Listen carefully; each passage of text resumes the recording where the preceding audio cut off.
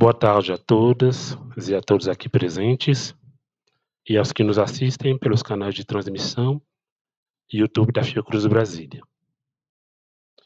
Sejam bem-vindos ao evento Práticas em Avaliação e Evidências para Políticas Públicas, uma parceria entre o Departamento de Ciência e Tecnologia do Ministério da Saúde, a Escola Nacional de Administração Pública, o Instituto de Pesquisa Econômica Aplicada e a Fundação Oswaldo Cruz em Brasília. A título de informação, esse evento contará com tradução simultânea para Libras. Informamos também que estamos oferecendo, em um espaço reservado da lanchonete da Fiocruz Brasília, uma mesa volante com café e itens para que as pessoas possam se alimentar. É, reforçando apenas que isso será disponibilizado a partir das 15 horas. Aos participantes que fizeram inscrição, solicitamos o preenchimento do questionário online para registro de presença e avaliação deste evento. O link e o QR Code serão disponibilizados a partir das 16h30. Este evento busca aproximar as experiências de quatro instituições parceiras no campo de avaliação, monitoramento e uso de evidências para políticas públicas, além do compartilhamento de práticas, espera-se que o evento contribua para o fortalecimento da cultura avaliativa no governo federal brasileiro. Pedimos aos participantes que façam a sua autodescrição antes das suas respectivas falas. Fará uso da palavra nesse momento a diretora da Fiocruz Brasília, Fabiana Damasio.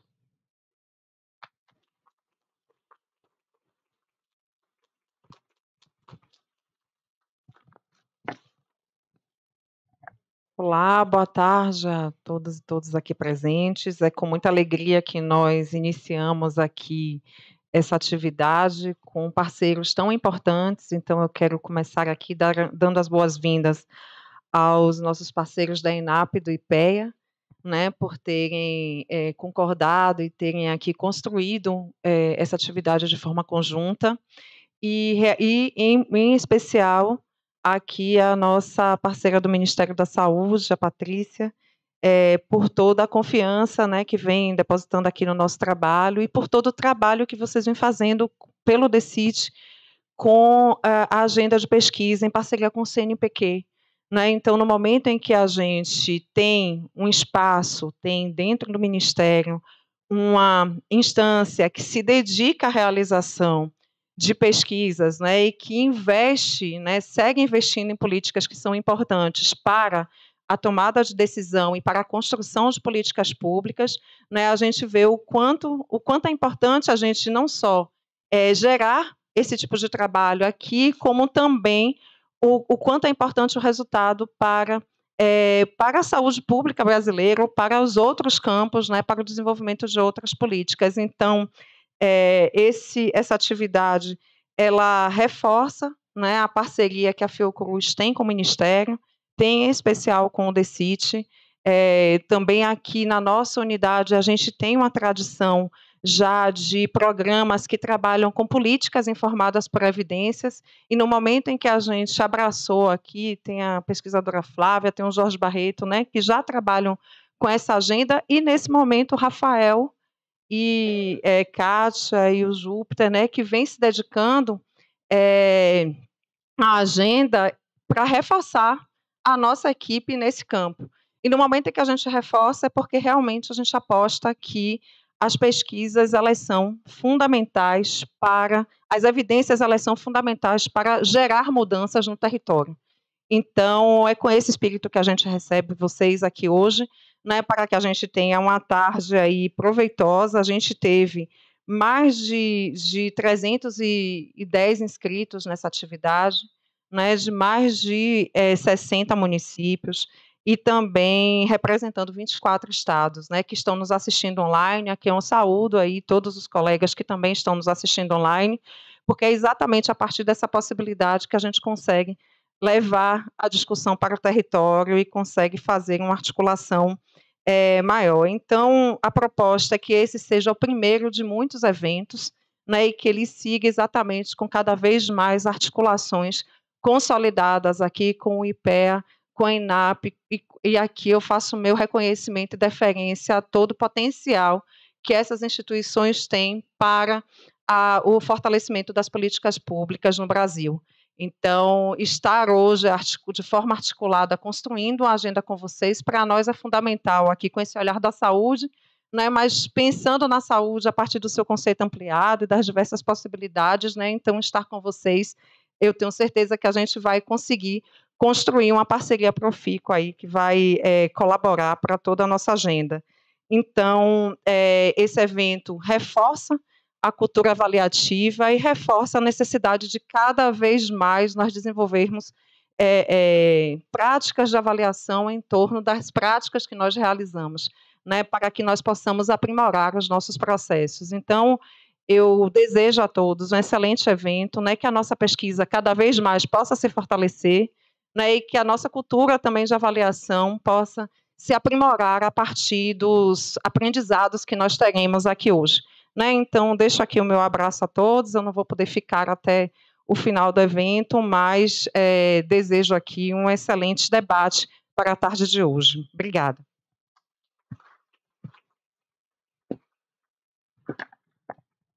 Obrigado, doutora Fabiana, pela sua fala de boas-vindas. Dando continuidade ao nosso evento, é, convidaremos agora para compor a mesa de abertura a senhora Patrícia Couto, coordenadora geral de evidências do Ministério da Saúde.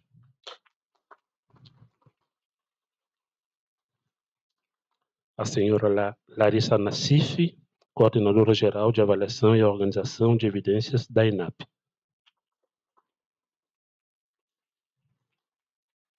Doutora Natália Koga, pesquisadora da Coordenação de Planejamento e Análise de Políticas Públicas do IPEA.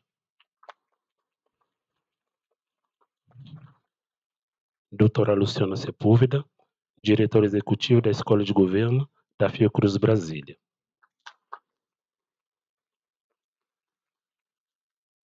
Reforçando, é, solicitando que cada um faça a sua autodescrição, por gentileza. Queremos também aqui registrar a presença da doutora Aline Schlausch, secretária executiva do Ministério do Desenvolvimento, Indústria, Comércio e Serviços. Obrigado pela presença, doutora.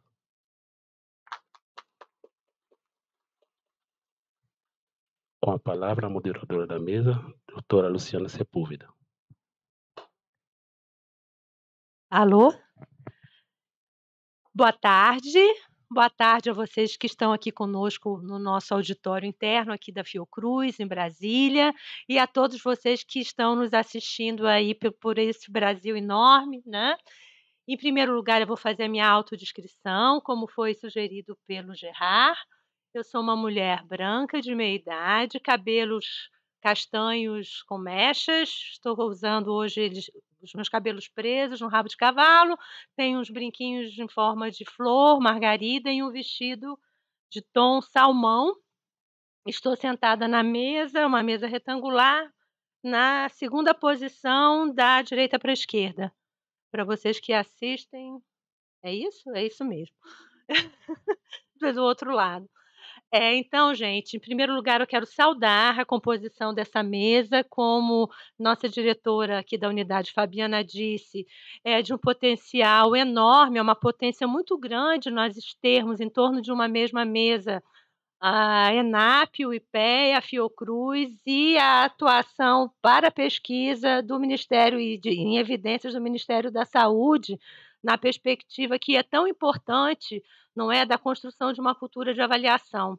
A gente sabe que a avaliação ela é diferente de pesquisa, ela implica a formulação de julgamento, de juízo de valor, embora ela tenha em comum com a pesquisa uma série de interfaces, não é, disciplinares, uh, enfim, de é, teorias, não é, para explicarem os fenômenos e aquilo que relacionado às, às políticas que a gente pretende avaliar, mas ela também tem a sua especificidade tem, e com isso os seus desafios, não é? Nós aqui na Fiocruz Brasília somos, temos também uma escola de governo, Escola de Governo Fiocruz Brasília, que é o braço educacional desta unidade.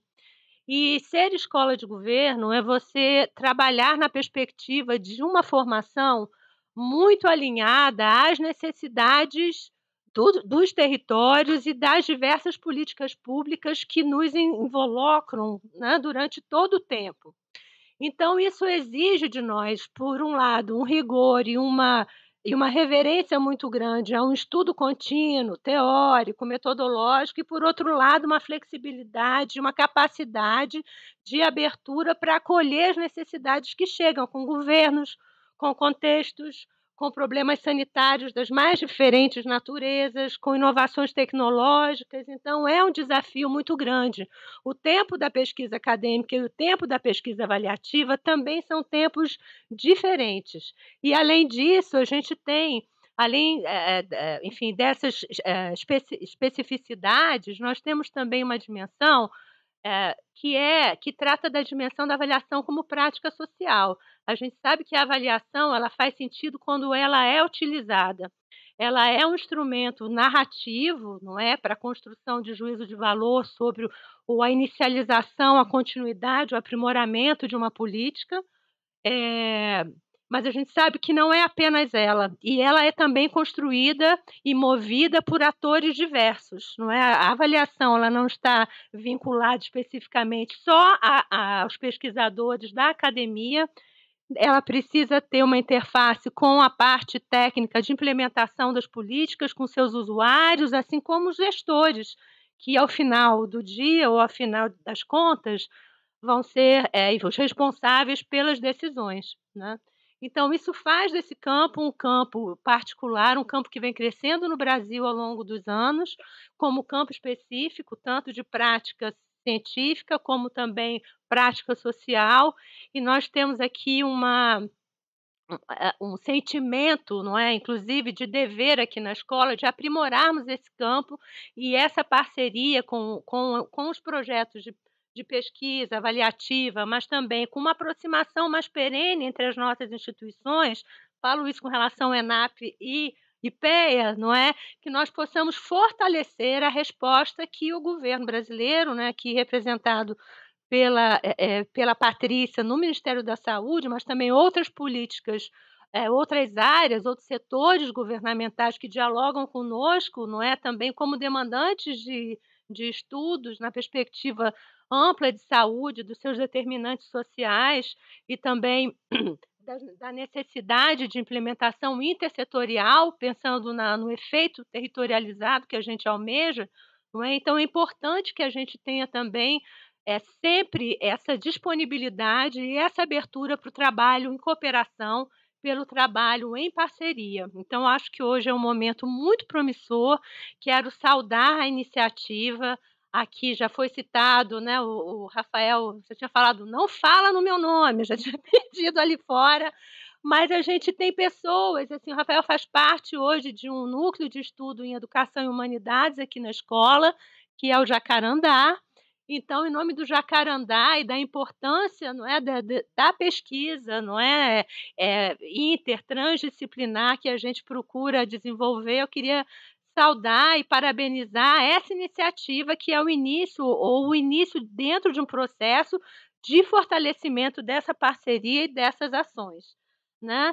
E só para terminar, para vocês terem um pouco uh, melhor a visão do que é essa escola, nós temos um programa, estrito senso, um programa de políticas públicas em saúde, um programa profissional de pós-graduação, com várias turmas temáticas. Temos atualmente uma turma voltada para a política pública na educação, temos uma em ATS, temos outra que inicia agora em saúde digital e temos perspectivas também para o início em 25, uma com, em, com tema, temática do nosso programa em atenção primária em saúde. Só para a gente perceber de fato a dinâmica não é? e a e a importância da reflexão na, na questão de avaliação e análise de políticas dentro da nossa escola também.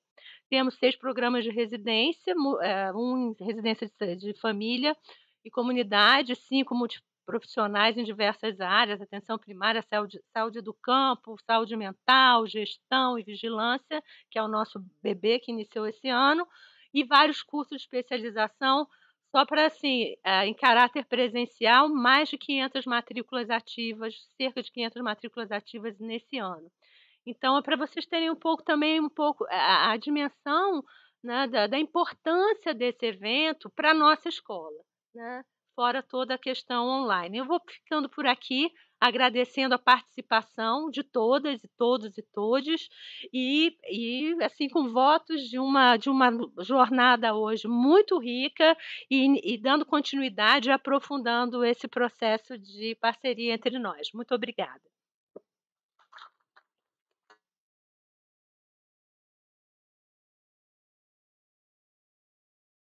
Obrigado, doutora Luciana. Fará uso da palavra agora a nossa coordenadora Patrícia Couto. Obrigada. Bom, boa tarde a todas e todos e todes. É, minha audiodescrição, eu sou uma mulher de 50 anos branca, de cabelo castanho escuro, olhos bem escuros, baixinha. Estou vestida com um vestido estampado de branco, azul e preto. E estou muito feliz aqui de estar pelo, receber o convite do nosso colega, que não quer ser nomeado. e foi uma ideia muito interessante de ter esse momento para a gente conversar sobre avaliação de políticas, né? Então, em nome do Departamento de Ciência e Tecnologia, eu trouxe uma apresentação muito rápida, só para mostrar quem é o DECIT, para quem não conhece. Eu não sei quem poderia colocar. Uhum. É essa, é essa. Obrigada. Uhum. Eu posso passar. Pronto. Enfim, é, o Departamento de Ciência e Tecnologia está fazendo 24 anos esse ano, né, lá no Ministério da Saúde, e a gente, quando foi criado o DECIT, ele foi criado para aproximar, para trazer a pesquisa mais focada, a aplicabilidade dela para o SUS. É. Então, é, com a missão de gerar conhecimento, fomentando pesquisas em saúde para auxiliar na tomada de decisão, a gente acredita que a gente trabalha para o futuro do SUS. É, é uma missão difícil, uma, uma missão de um grande desafio muito instigante. Todo mundo que trabalha lá gosta muito. É, então, a gente é, em 2023, a gente conseguiu ampliar bastante nosso investimento, foram quase 500 milhões investidos em pesquisa. Assim, eu sempre digo que é, pesquisa não tem custo, pesquisa tem investimento. A pesquisa é um investimento de risco, sim, é um investimento de risco, mas que é necessário para a gente conseguir evoluir, evoluir no sistema único de saúde. Né? Então, as nossas principais áreas de atuação enquanto departamento são o fomento à pesquisa, onde o fomento não é apenas o financiamento, mas é uma, um trabalho complexo de articulação inter e intra-institucional, nacional e internacional, porque a gente faz um grande trabalho para trazer dinheiro, recurso financeiro de fora para dentro do Brasil, para investir também em pesquisa. Né? E também fazemos todo o acompanhamento e monitoramento de tudo que a gente fomenta. Claro que é um trabalho ainda em evolução e amadurecimento, mas a gente vai chegar na excelência.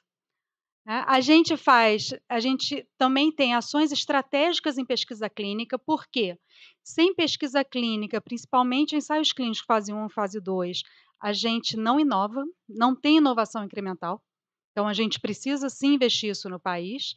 E, não por fim, mas tão importante quanto, a gente trabalha com evidências científicas para auxiliar a tomada de decisão no SUS.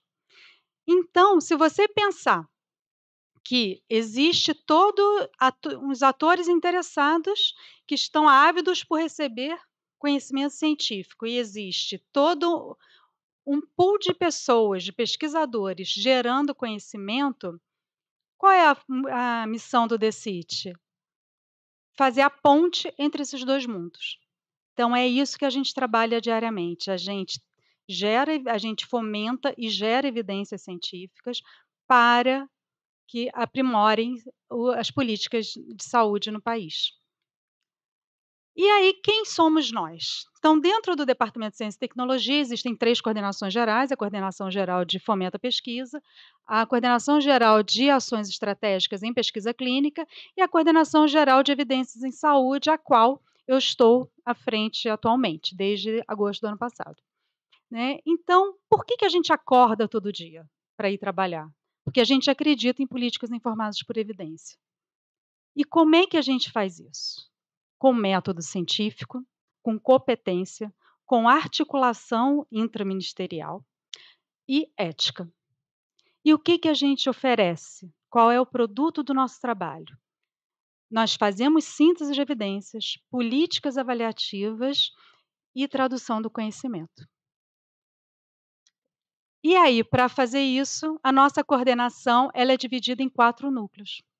O núcleo de evidências, que nós temos um portfólio específico de produtos que nós oferecemos para o Ministério da Saúde, onde tem desde é, inventário de referências, revisão rápida da literatura, revisão de escopo, revisão sistemática. Né? Nós temos um outro núcleo, que é a Secretaria Executiva da EVIPNET Brasil.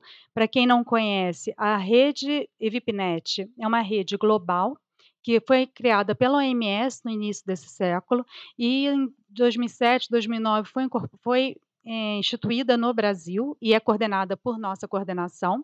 Né? E então a gente, essa rede, ela configura é, organiza todos os núcleos de evidência, não só o do Ministério da Saúde, que está na nossa coordenação, mas também todos os núcleos de evidência que são espalhados no Brasil inteiro e eu convido a vocês a conhecerem o nosso portal, né, para poder conhecer o que, que a gente tem feito, o que, que a gente produz, está lá nesse portal. Então, temos várias informações para quem tiver curiosidade. Temos um núcleo de avaliação de políticas, muito voltado ao que estamos fazendo aqui hoje, porque foi graças a uma chamada pública para avaliação de política, a gente selecionou os projetos, estamos aqui conversando sobre isso. Então, o Núcleo de Avaliação de Políticas também tem o seu próprio portfólio, na próxima mesa vai ser apresentado, e a gente faz oito tipos de, a gente oferece para o Ministério da Saúde oito tipos de avaliação, uma ex ante, sete ex post, para o SUS para poder avaliar o que foi produzido, é, todos os programas políticos do SUS. E, por fim, o núcleo de projetos estratégicos, que consegue costurar tudo que é feito em todos os núcleos.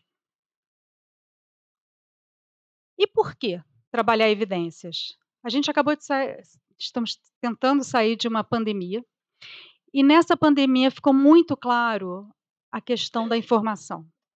O que é evidência? Como comunicar essa evidência? Qual é o perigo de uma evidência fora de contexto? Como, qual é o perigo de uma fake news? Qual é o perigo de uma desinformação científica? Né? Nesse sentido, cabe à nossa coordenação também, além de fazer a síntese de evidências, a avaliar, a políticas, a, é, avaliação de políticas, também estamos trabalhando numa diretriz para enfrentar e prevenir a desinformação científica em saúde. É uma atividade extremamente complexa, ela não é isolada, e a nossa ideia, então, é fazer com que a gente consiga, dentro da estratégia nacional de enfrentamento da desinformação científica, fazer uma estratégia específica para o Departamento de Ciência e Tecnologia que possa contribuir para, para o todo. Né? Para isso, a gente vai trabalha com três dimensões estruturantes para poder conseguir, para construir a nossa meta é ainda esse ano ter uma, uma chamada pública específica nessa temática. Bom, muito passando. É isso que, que nós fazemos, a gente fomenta a pesquisa, a gente está aqui para contribuir nesse cenário no Brasil. Tá? Obrigada.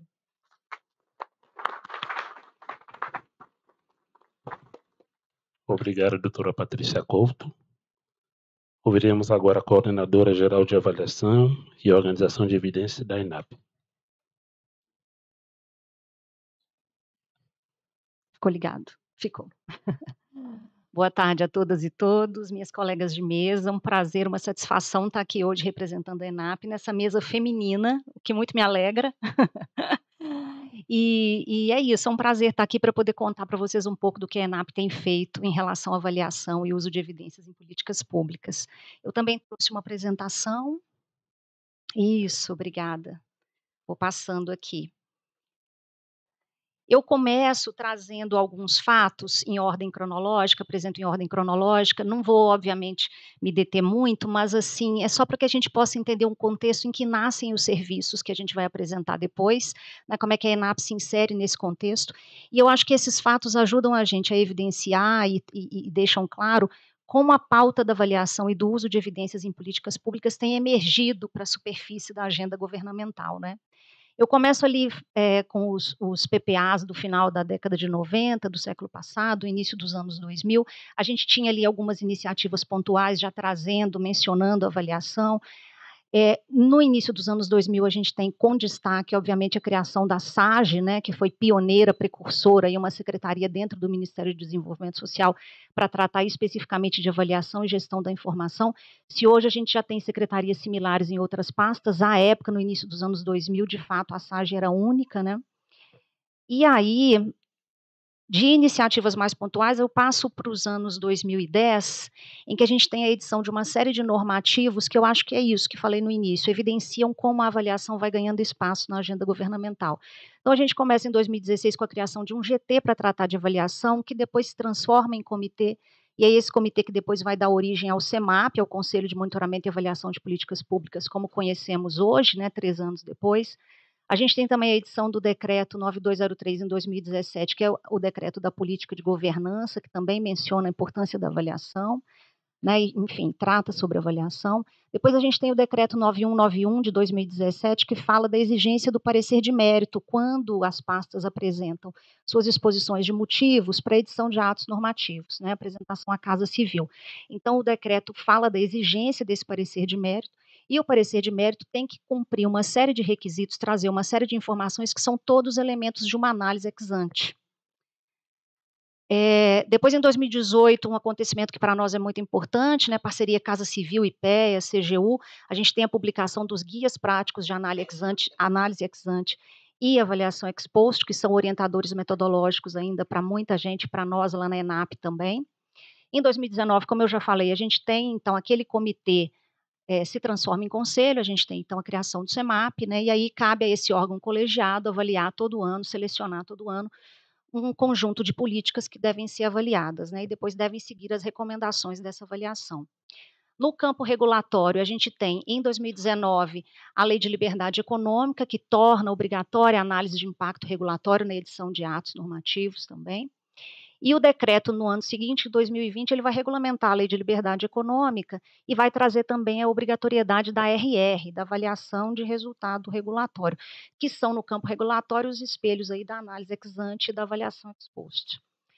E aí eu termino essa pequeniníssima cronologia com a emenda constitucional 109 de 2020, que dá a avaliação status constitucional, né? Então a avaliação passa a ser obrigatória não só para para a administração pública federal, mas também para os entes subnacionais, e a emenda também recomenda o uso de evidências no processo de políticas públicas.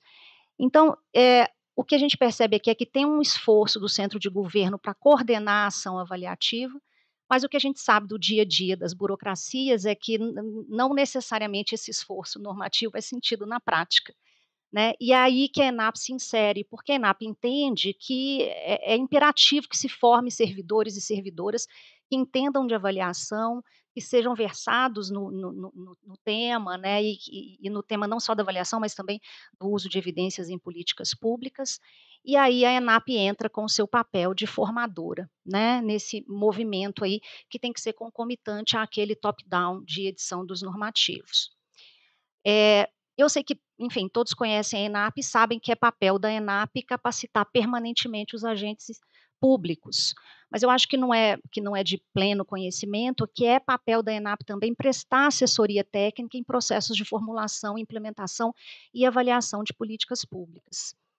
O que, que a ENAP tem oferecido hoje na área de avaliação e uso de evidências? A ENAP tem vários cursos de curta duração, aperfeiçoamento de carreiras, tem cursos de análise ex ante, avaliação ex post, a IR, a RR, tem uma certificação em avaliação, né?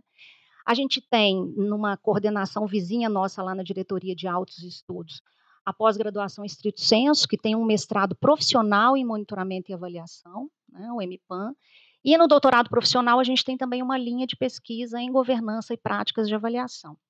Mas a gente tem também os serviços que a gente veio aqui apresentar hoje para você. Não só eu, como os colegas também que vão participar das próximas mesas, vão, vamos contar um pouco sobre os serviços assessoria para avaliação e evidência express, que a gente entende que são na escola o casamento entre a assessoria técnica e a pesquisa. Então, quem somos nós da Coordenação Geral de Avaliação e Organização de Evidências? Somos sete colegas, sete servidores e servidoras bravos, que lutamos todos os dias para levantar essa bandeira da avaliação e do uso de evidências. Né? É, o que, que ofertamos? E aí eu aproveito para contar para vocês que, na verdade, os serviços Assessoria para Avaliação e Evidência Express, eles nascem no final de 2020, antes da coordenação. É, o serviço, portanto, tem três anos e meio né, de idade, mas os serviços foram tão bem aceitos pela administração pública que depois, em 2022, nós fomos, então, alçados ao status de coordenação geral. Uh, o que é assessoria para avaliação? É um serviço de orientação técnica e metodológica para equipes de servidores que precisam avaliar suas políticas públicas, não têm pleno domínio técnico do processo, então procuram a ENAP para receber esse apoio. Mas eu deixei destacado aí em vermelho também que não é só assessoria técnica, é também transferência de capacidades. A Luciana deixou a bola, né? já, já levantou a bola para a gente cortar, porque é uma escola de governo, né? Então a gente não pode nunca esquecer que a gente tem que formar servidores. Então é um serviço sim de apoio técnico, mas também o tempo todo pensando em capacitação. E aí quem é que nos procuram? Esses servidores não têm pleno domínio técnico do processo, precisam de apoio, vão em busca da ENAP e, além do apoio, recebem então formação em avaliação de políticas públicas. Mas é uma formação especial porque é um the job estão pronto, eles são protagonistas do processo. O que, que a gente oferece na assessoria para avaliação? Análise ex ante, avaliação ex post, né, avaliação executiva, AIR, análise de impacto regulatório, e a avaliação de resultado regulatório. A gente não precisa necessariamente passar por todas as etapas da análise ex ante ou da avaliação ex post, por exemplo, mas a gente pode focar em uma, duas ou três etapas, dependendo da necessidade de quem nos procura.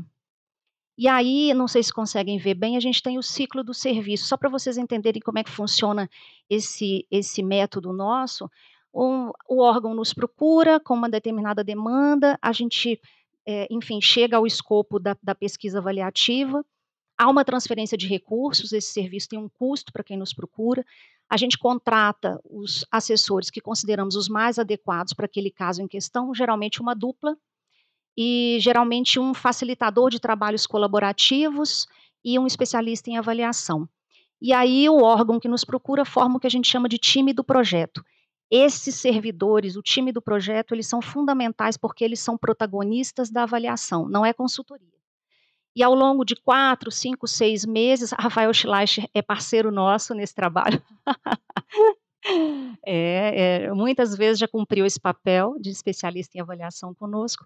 E ao longo de quatro a seis meses, eles vão percorrendo esse processo avaliativo e vão se formando também com a mentoria, com a tutoria desses profissionais que a ENAP contrata.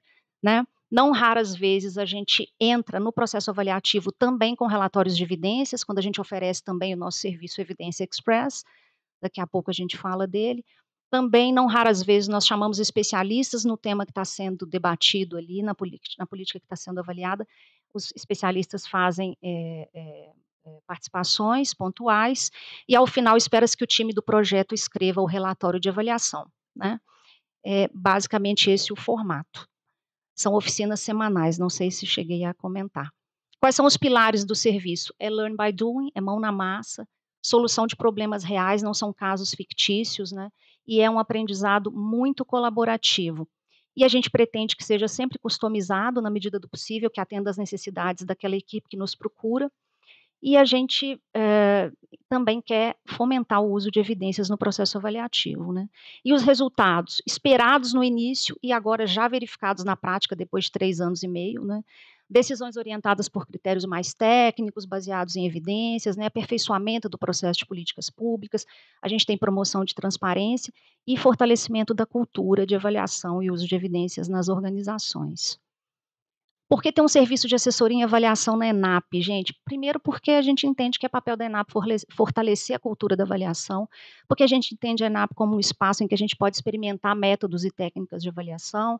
É uma escola de governo, então a gente está gerando pesquisa, a gente está gerando conhecimento aplicado, né? Sempre uma preocupação, é o casamento da pesquisa com o conhecimento aplicado ao dia a dia da gestão pública porque a gente está cumprindo o estatuto da escola, como eu mostrei antes, né? É, também é papel da ENAP prestar assessoria técnica, porque a gente está cumprindo o papel institucional da ENAP no âmbito do CEMAP, porque a ENAP é apoiadora técnica formal do CEMAP, do Conselho de Monitoramento e Avaliação de Políticas Públicas, e porque a gente quer muito disseminar essa metodologia colaborativa, que é muito cara para a gente, porque a gente entende que esse é um aprendizado muito potente e que promove, de fato, a internalização de capacidades. Alguns números aí com recorte em dezembro de 23, a gente em três anos e alguns meses a gente é, realizou 69 atendimentos. Vocês conseguem ver aí pelas barras, quer dizer, não sei se conseguem ver, mas a gente tem uma prevalência de expost nos atendimentos. E mais tivemos também algumas experiências em ARR, enfim. Uh, aí esse gráfico é para mostrar para vocês a diversidade de temas, né? São muitos temas. A gente costuma brincar que a gente vai de alfinete a foguete.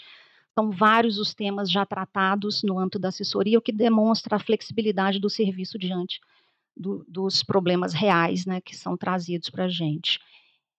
E a gente tem aí os demandantes, né, nesse gráfico a distribuição dos atendimentos por origem das demandas. O CEMAP até então tem sido nosso maior demandante e aproveito esse slide também para falar da janela avaliação, que é um outro projeto nosso, porque, como eu comentei anteriormente, esse serviço tem um custo para as organizações que procuram.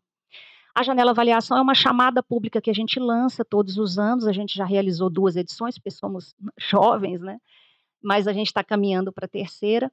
E nessa chamada pública a gente seleciona casos para receber o serviço da assessoria para avaliação de forma gratuita. Nessa janela avaliação, a gente consegue também atender a entes subnacionais, o que para a gente também é muito caro, já atendemos a vários estados, municípios, e é um espaço bom para a formação de parcerias, né? um projeto que nos permite formar parcerias. A primeira edição da Janela Avaliação foi realizada apenas com recursos da escola, mas a segunda edição teve o patrocínio da República.org, foi uma edição é, especial para políticas de gestão de pessoas no serviço público, porque é a pauta dessa instituição, da República.org, foi nossa parceira junto com a Flaxo Brasil. E muito provavelmente na terceira edição a gente vai ter uma parceria também, mas não posso contar porque ainda não firmamos. Segredo. Evidência Express. O Evidência Express é o nosso núcleo de, de respostas rápidas em evidências, né? E o que, que a gente pretende com Evidência Express? Produzir, reunir, disseminar evidências para o desenho, para a implementação, para a avaliação de políticas públicas. Né? É, uh, para quem? Para equipes de servidores que querem aportar evidências nos seus processos decisórios. Por que, que, a gente precisa de evidências no processo de política pública? Fernanda Serpa, nossa colega, vai falar melhor sobre isso, mas as evidências podem entrar em qualquer momento do processo de políticas públicas. Né? Na, na, na definição do problema, do público-alvo, na implementação. A gente pode mapear outras políticas que já foram implementadas para endereçar o mesmo problema, a gente pode é, aportar evidências na implementação, enfim, em resumo, para aprimorar a política pública. A gente tem também o nosso portfólio de produtos, né, nossos produtos de prateleira, análise exploratória de dados, a gente tem simulações, avaliações de impacto e estudos de benchmarking, que são os produtos, que é o produto é, mais demandado, tem, tem sido até então disparado, policy brief e a síntese rápida de evidências. Pilares do serviço, produtos que interajam com o dia a dia da administração pública, né? Porque a gente também está fazendo aí, como as colegas já disseram, a ponte entre o conhecimento científico e a gestão pública. Né? Então, é, nós trazemos os servidores que demandam aquele material de evidências para definir conosco o escopo da pesquisa. Então, a pergunta de pesquisa é definida com o apoio de quem precisa, quem está correndo atrás daquela evidência. Né? Então, o processo não é colaborativo, como no caso da assessoria, que o processo é todo colaborativo. Né? É claro que, nesse caso, os pesquisadores é que vão realizar a pesquisa. A gente tem uma equipe cativa de pesquisadores que formam o Evidência Express, mas o processo da definição do escopo da pesquisa e da pergunta de pesquisa é colaborativo. Né? E a gente está sempre de olho no contexto da política pública e, como também a colega já trouxe, a gente está sempre com um olhar também para a tradução do conhecimento, para, de novo, levar relatórios para os gestores que sejam palatáveis e que conversem com o dia a dia da gestão pública. Né? E os resultados também já observados na prática, decisões orientadas por critérios mais técnicos, a gente está promovendo transparência, aperfeiçoando política pública e fortalecendo a cultura do uso de evidências. Por que tem um serviço de respostas rápidas em evidências na ENAP? Porque a ENAP é uma escola de governo, é espaço do diálogo entre a academia e a gestão pública, entre a pesquisa e a gestão pública. Né? Nós queremos fazer essa intermediação do conhecimento, fazer a ponte, que é outro, outro termo que também já foi utilizado aqui pelos colegas, a ponte entre a demanda por informações e os pesquisadores que podem oferecê-la. E, de novo, também sempre com esse olhar da tradução do conhecimento, para trazer relatórios que façam sentido para o gestor. Né? E a gente quer também difundir boas práticas, uma escola de governo é esse lugar, né? Fortalecer o uso de evidências, engajando os servidores públicos e levando informação para o dia a dia da política pública. Aí a gente tem também os números com recorte em dezembro de 23 do Evidência Express. Esses números do Evidência Express mudam muito porque o serviço é Express, né? então agora a gente já está em quase 100 relatórios, mas no final de 2023 a gente tinha gerado 87 produtos, Aí vocês conseguem ver também a diversidade de temas, né? CEMAP também, historicamente, tem sido o maior demandante do Evidência Express, e nós já atendemos até dezembro de 2023 22 órgãos aí entre agências reguladoras, ministérios, Presidência da República, o próprio CEMAP, enfim. É, Para quem tiver curiosidade e interesse, os nossos produtos, não todos, mas a gente já está subindo mais agora, né, meninas? Nossos produtos estão no nosso repositório, na página do Infogov. Uh, vocês conseguem achar alguns dos nossos relatórios já produzidos. E no início da apresentação, é, eu fiz duas perguntas, né? Quem somos e o que ofertamos. Agora eu trago quem queremos ser e, e, o que queremos ofertar no futuro, né? Acho que depois de três anos de sucesso, a gente pode dizer, dos serviços, da assessoria e do EVEX, como a gente costuma chamar, a gente está pensando em novos projetos e, e, trago um pouco desses projetos para vocês aqui muito brevemente. A gente está lançando um laboratório de avaliação. A gente quer que o laboratório seja esse espaço de experimentação, de teste, um espaço onde a gente possa errar para depois acertar de novo e fazer melhor no âmbito da assessoria, né? Então a gente quer experimentar novas práticas, novos métodos, novas perspectivas de avaliação no âmbito do laboratório. Estamos começando. A gente vai decolar agora nesta semana, primeiro encontro NAVE, que é o nosso núcleo de pesquisa em avaliação e uso de evidências em políticas públicas, porque a gente também quer fomentar o debate, fomentar a pesquisa, fazer pesquisa, né? sempre relacionados à avaliação e evidências, e a gente quer produzir conhecimento na interseção também dessas duas áreas. E aproveitar aqui a audiência super qualificada para pedir vocês para bloquearem as agendas entre 21 e 23 de maio, a gente vai lançar a primeira edição da Semana Avaliação, Semana da Avaliação. É uma parceria com a SAGCAD, do MDS, que muito nos orgulha, e a gente espera que seja a primeira edição de muitas, né? assim como a gente tem já a famosa Semana da Inovação, a gente quer criar e lançar a Semana da Avaliação, a programação em construção, assim que tiver tudo certo, a gente vai começar a divulgar, mas a gente já tem a participação nobre confirmada do professor Evert Vedung, que é uma pessoa assim de muita relevância na pauta da avaliação, uma longa história, com muita produção, muita contribuição. O professor Evert vai nos dar o prazer da sua presença remotamente. E por fim, é que acho que já já passei muito do tempo, a gente vai lançar a nossa coletânea finalmente na semana da avaliação, avaliação e organização de evidências, inovando no apoio à administração pública. É um projeto muito caro para a gente que já está no nosso colo há algum tempo. Finalmente vamos conseguir lançar a coletânea. São, é um compilado de 10 artigos em que a gente traz artigos base explicando os serviços e alguns casos bem emblemáticos da assessoria nesses três anos. Acho que é isso, agradeço mais uma vez pela oportunidade, estamos aí para contatos e é isso, um bom evento para vocês, gente. Obrigada.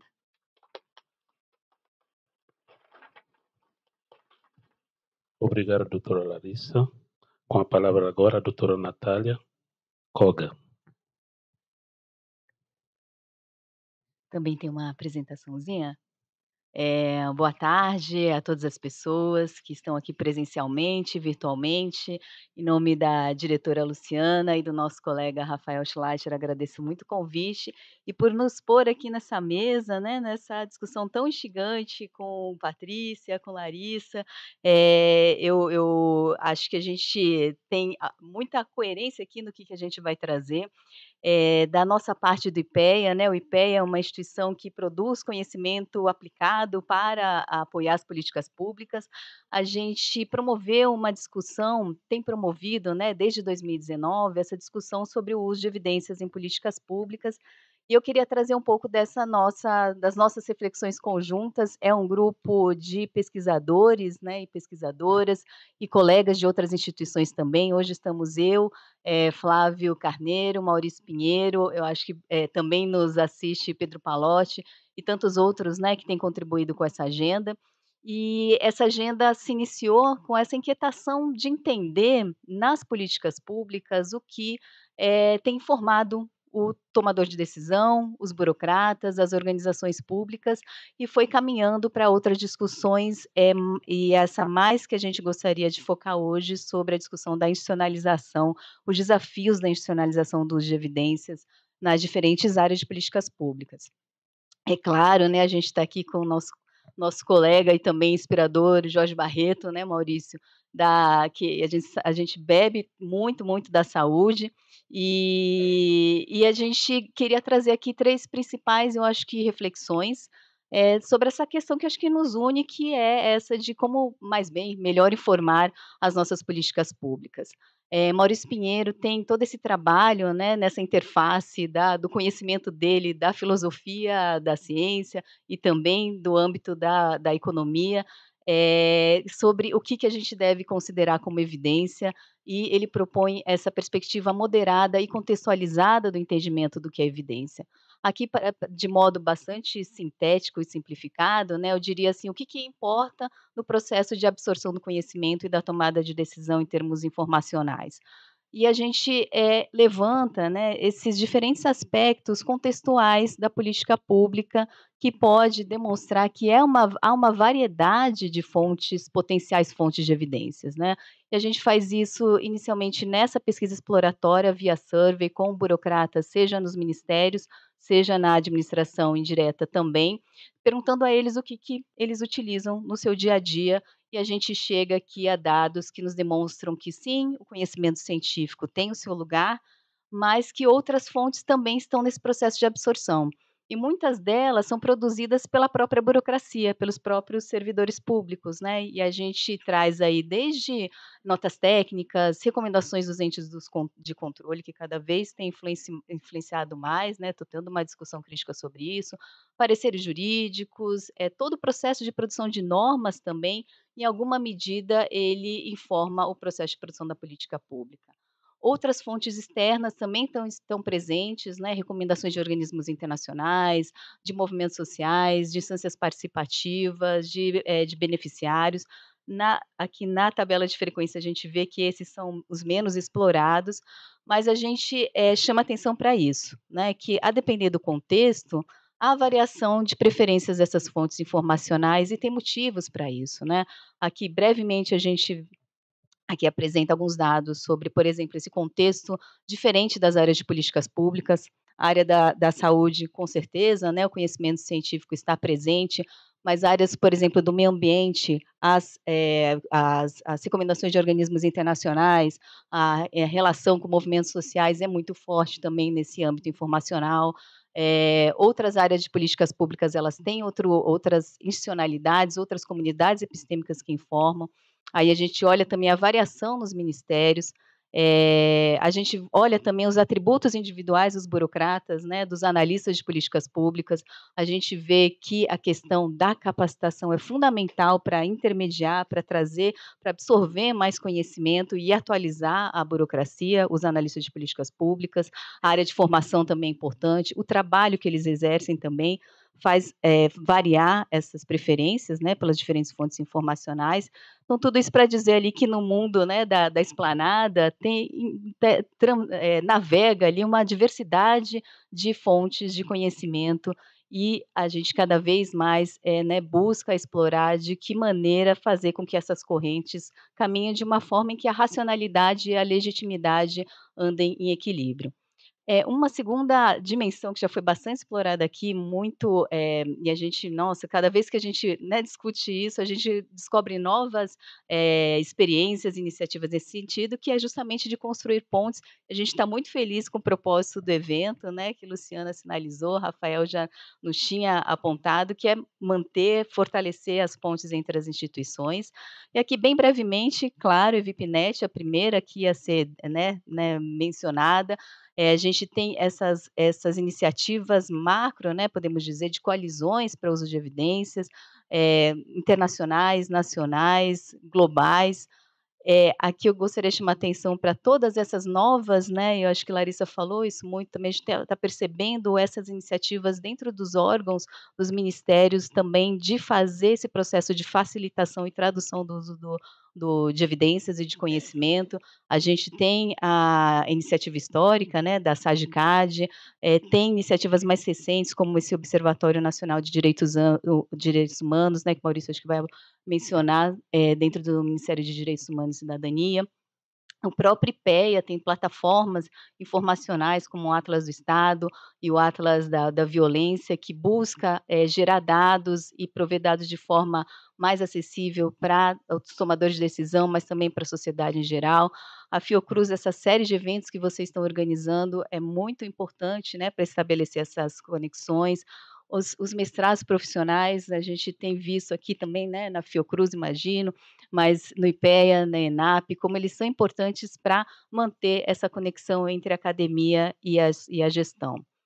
E também, por que não, né, é, mencionar o que a sociedade tem promovido aí de inovações nesses formatos de knowledge brokers de intermediação, a Rede Brasileira de Monitoramento e Avaliação, o Instituto Serra Pilheira, podcasts na área da, da, da, da saúde, né? Esse outro, esse último os últimos episódios do Ciência Suja são voltados a isso, é, os divulgadores científicos, todos esses atores e iniciativas muito importantes para estabelecer e fortalecer essa conexão entre quem produz e quem usa a, o conhecimento as evidências científicas. E chegando por fim nessa discussão da institucionalização, dos desafios da institucionalização dos de evidências, né? Por que, que a gente está tão focado nisso? É, Rafael nos permitiu fazer uma divulgação aqui da, do BAP, dessa edição da revista que é gerida né, pela nossa diretoria, que é uma diretoria que estuda instituições, Estado e democracia, DIEST, e a temática desse BAP, desse último BAP, é justamente a discussão da governança e cultura de evidência no Brasil.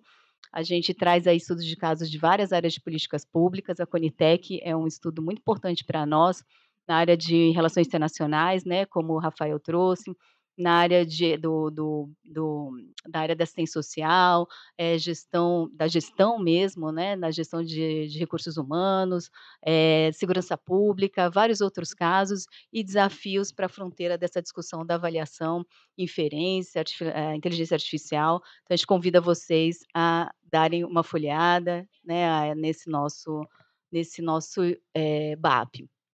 E ele tem foi construído nesse contexto, né, nesse contexto que recente aí de turbulências institucionais, em que a gente, eh, percebe, né, a gente vivenciou esse ataque à ciência, ataque às instituições de assessoramento, ataque à racionalidade no processo de produção de políticas públicas, então, a, o, o, tema né, de como fortalecer as instituições voltadas ao uso de evidências, à produção e à facilitação do uso de evidências se torna extremamente importante atual dentro do Estado.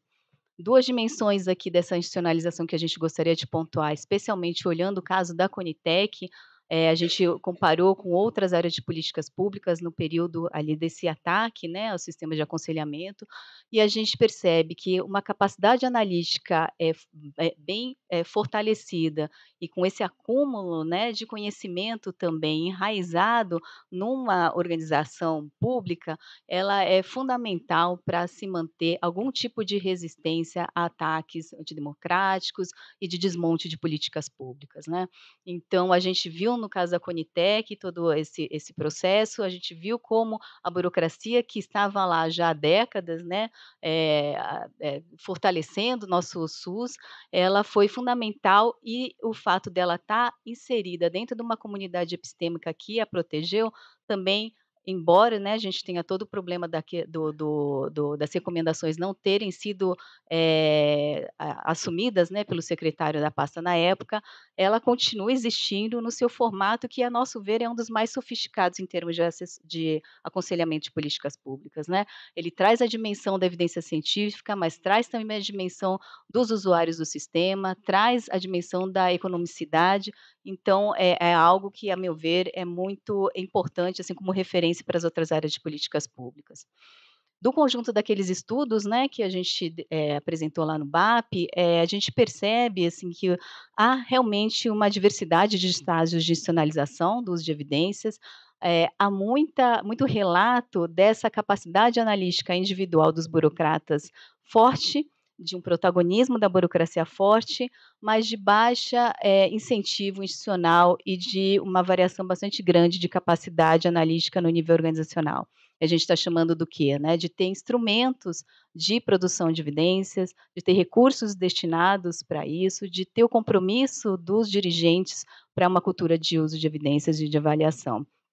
Então, é nessa interface entre essas 2 dimensões de capacidade no nível individual e organizacional que a gente, eh, entende que deveríamos, eh, fortalecer aí nos passos futuros. E já caminhando para o final, uma síntese, né, dessas nossas reflexões atuais, a gente entende que ter uma compreensão, né, do do contextualizada do uso de evidências é importante, que não há um modelo único de governança de uso de evidências que cabe para todas as áreas de políticas públicas ou organizações.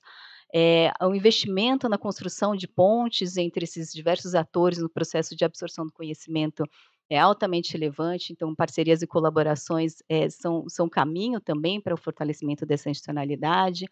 A relação entre a capacidade analítica individual e organizacional deve ser potencializada, a interação entre esses 2 níveis.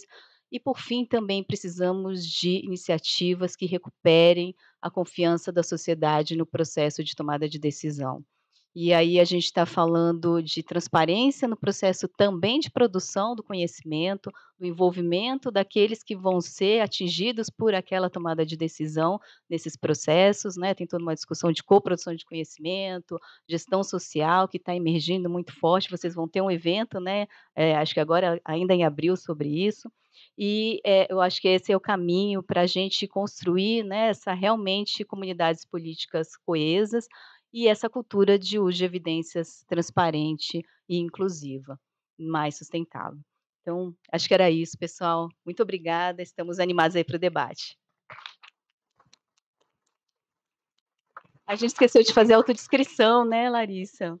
Só falando aqui Natália Koga, sou tenho ascendência japonesa, eh, estou com um vestido azul que dizem que é cobalto, não sei.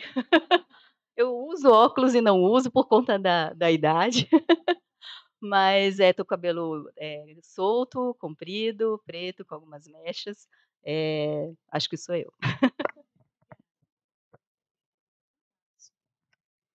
Recentemente eu organizei, junto com a equipe, um evento na ENAP e eu passei comentei isso lá, passei 2 semanas pedindo para os convidados fazerem sua autodescrição, falei várias vezes com todas as pessoas, e também lá quando chegou a minha vez eu esqueci de fazer. Então, eu sou a Larissa Nassif, retomando ENAP, eh, sou uma mulher de 47 anos, também baixinha, cabelos anelados, na mais ou menos na altura dos ombros, uso óculos também por conta da idade. Estou usando uma roupa listrada, um macacão listrado, brincos, e essa sou eu também. Muito obrigada a participação de todas, eu acho que agora eu retorno a palavra ao Gerard. Obrigado, agradecemos, eh, essa mesa, eh, de pessoas maravilhosas e capacitadas. Obrigado pelas suas valiosas contribuições, e pedimos gentilmente que retome seus assentos.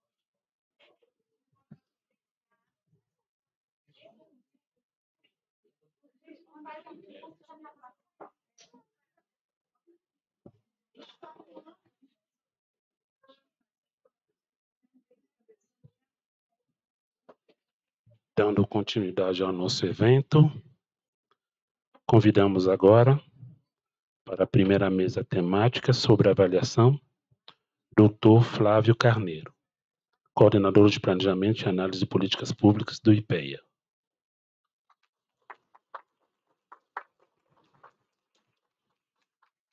Senhor Paulo Henrique Weiss, coordenador geral, substituto de monitoramento e avaliação em saúde do Ministério da Saúde.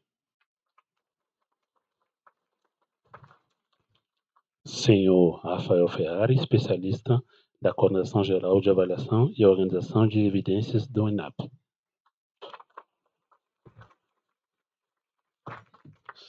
Doutora, a nossa queridíssima Kátia Zeredo, da Fundação Osório Cruz em Brasília, coordenadora de projeto Análise ex ante de Políticas de Monitoramento e Avaliação do SUS, a quem damos também a incumbência de conduzir a mesa e fazer a devida moderação. Obrigado.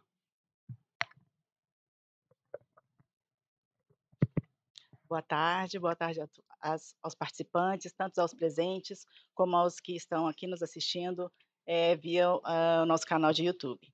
É, obrigada pela apresentação, né? é, quero dizer aqui que, que fico, estou muito feliz é, de estar aqui neste evento idealizado e executado pelo nosso colega ali, Rafael, Rafael Schleicher, que realmente não queria ser mencionado, não queria. Até saiu, ele sabia que eu ia mencionar. Mas então é isso. eu, eu sou uma mulher cis, Sou é, de ascendência japonesa também, baixinha, olhos pretos, cabelos pretos já um pouco grisalhos, 50 anos. Estou vestindo um, uma é, blusa marrom com os detalhezinhos dourados, calça preta e sapato preto. É, sem mais delongas, eu gostaria de passar aqui para o nosso é, convidado do IPEA, doutor Flávio Carneiro, para fazer a sua apresentação.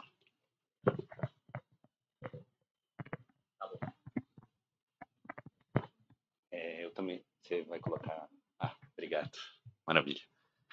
É, boa tarde a todas as pessoas aqui presentes e que nos assistem é, online. Uh, meu nome é Flávio Carneiro, eu sou coordenador de Planejamento e Análise de Políticas Públicas do IPEA. Uh, eu sou um homem branco de 42 anos, cabelo é, marrom escuro, preto, não sei. É, eu estou usando uma camisa azul e branca e um paletó azul. Acho que é isso. E eu vim falar aqui hoje com vocês sobre a, a, a institucionalização do Sistema Federal de Avaliação de Políticas Públicas no Brasil e a participação do IPEA nesse, nesse movimento. Bom, é, o, até muito recentemente, e a, e a Larissa já ajudou bastante minha apresentação, porque ela fez parte da, da reconstrução que eu iria fazer aqui também. É, o governo federal não, não possuía um sistema estruturado de monitoramento e avaliação. A gente tinha um conjunto de iniciativas bastante relevantes, cada uma delas, mas independentes e sem uma coordenação centralizada. Então, a gente tinha, como, como a Larissa colocou, a, o, o, processo de monitoramento e avaliação do PPA, algumas iniciativas setoriais, como a SAGE, hoje SAGCAD, do MDS, e o INEP, na área da, da, educação, e na área da saúde, o DEMAS, que o, que o meu colega de mesa, Paulo, é, pertence, e a Fiocruz, obviamente, e alguma, algumas outras, a atuação também de algumas outras instituições mais transversais, como são o caso do IPEA e da própria ENAP. É, a institucionalização de um, de um sistema de monitoramento e avaliação ela tem um, um conjunto de vantagens. A literatura já mostrou isso. É, por exemplo, é, é, a institucionalização facilita a coordenação entre os participantes do sistema de monitoramento e avaliação. Ela é, propicia uma maior uniformização do, dos processos de avaliação, uma qualificação técnica dessas avaliações. É, ela também é, propicia um maior incentivo à incorporação dos resultados das avaliações do, no, no processo de elaboração e, de, e aperfeiçoamento de políticas. Ah, e ela também ajuda a manter uma maior continuidade do processo de avaliação e fomentar uma cultura de avaliação, que é o, que é o nosso objetivo aqui, eu acho que de todo mundo que está aqui presente, é, é que a gente consiga fomentar uma cultura de avaliação de políticas públicas que permita um, um aperfeiçoamento e uma melhora dessas políticas que são, que são executadas. É, a gente tem vários exemplos internacionais disso. A Suécia é um dos pioneiros que começou a institucionalizar o seu sistema de monitoramento e avaliação ainda na década de 50. Mais para o final do século passado, os Países Baixos e o Reino Unido foram, foram é, países que conseguiram fazer essa institucionalização na década de 90, a Coreia do Sul a partir da década de 2000.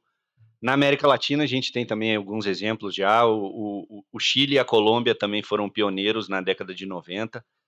E o México, que criou o Conselho Nacional de, de Avaliação de Programas Sociais em, em 2004.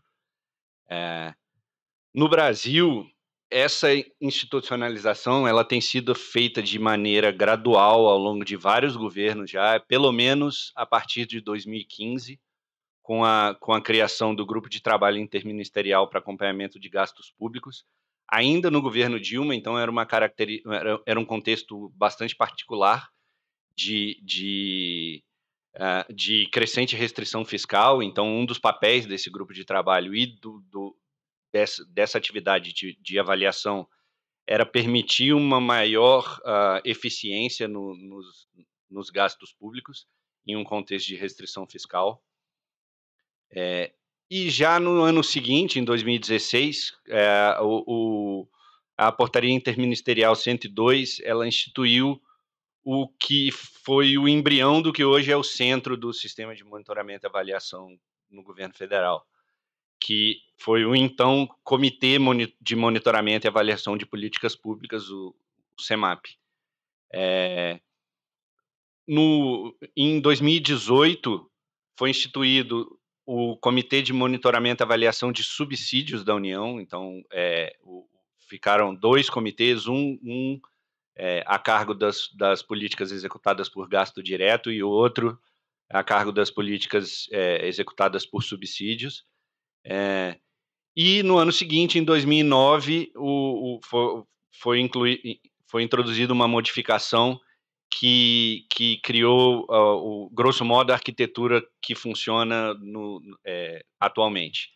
O, o, foi criado o Conselho de Monitoramento e Avaliação de Políticas Públicas, que passou, eh, tomou para si a sigla CEMAP, e o, o, o antigo CEMAP se tornou o Comitê de Monitoramento e Avaliação de Gastos Diretos. Então a gente ficou com uma estrutura que tem o, o Conselho, supervisionando e coordenando as atividades que são executadas pelos dois comitês, de gastos diretos e de, e de subsídios da União.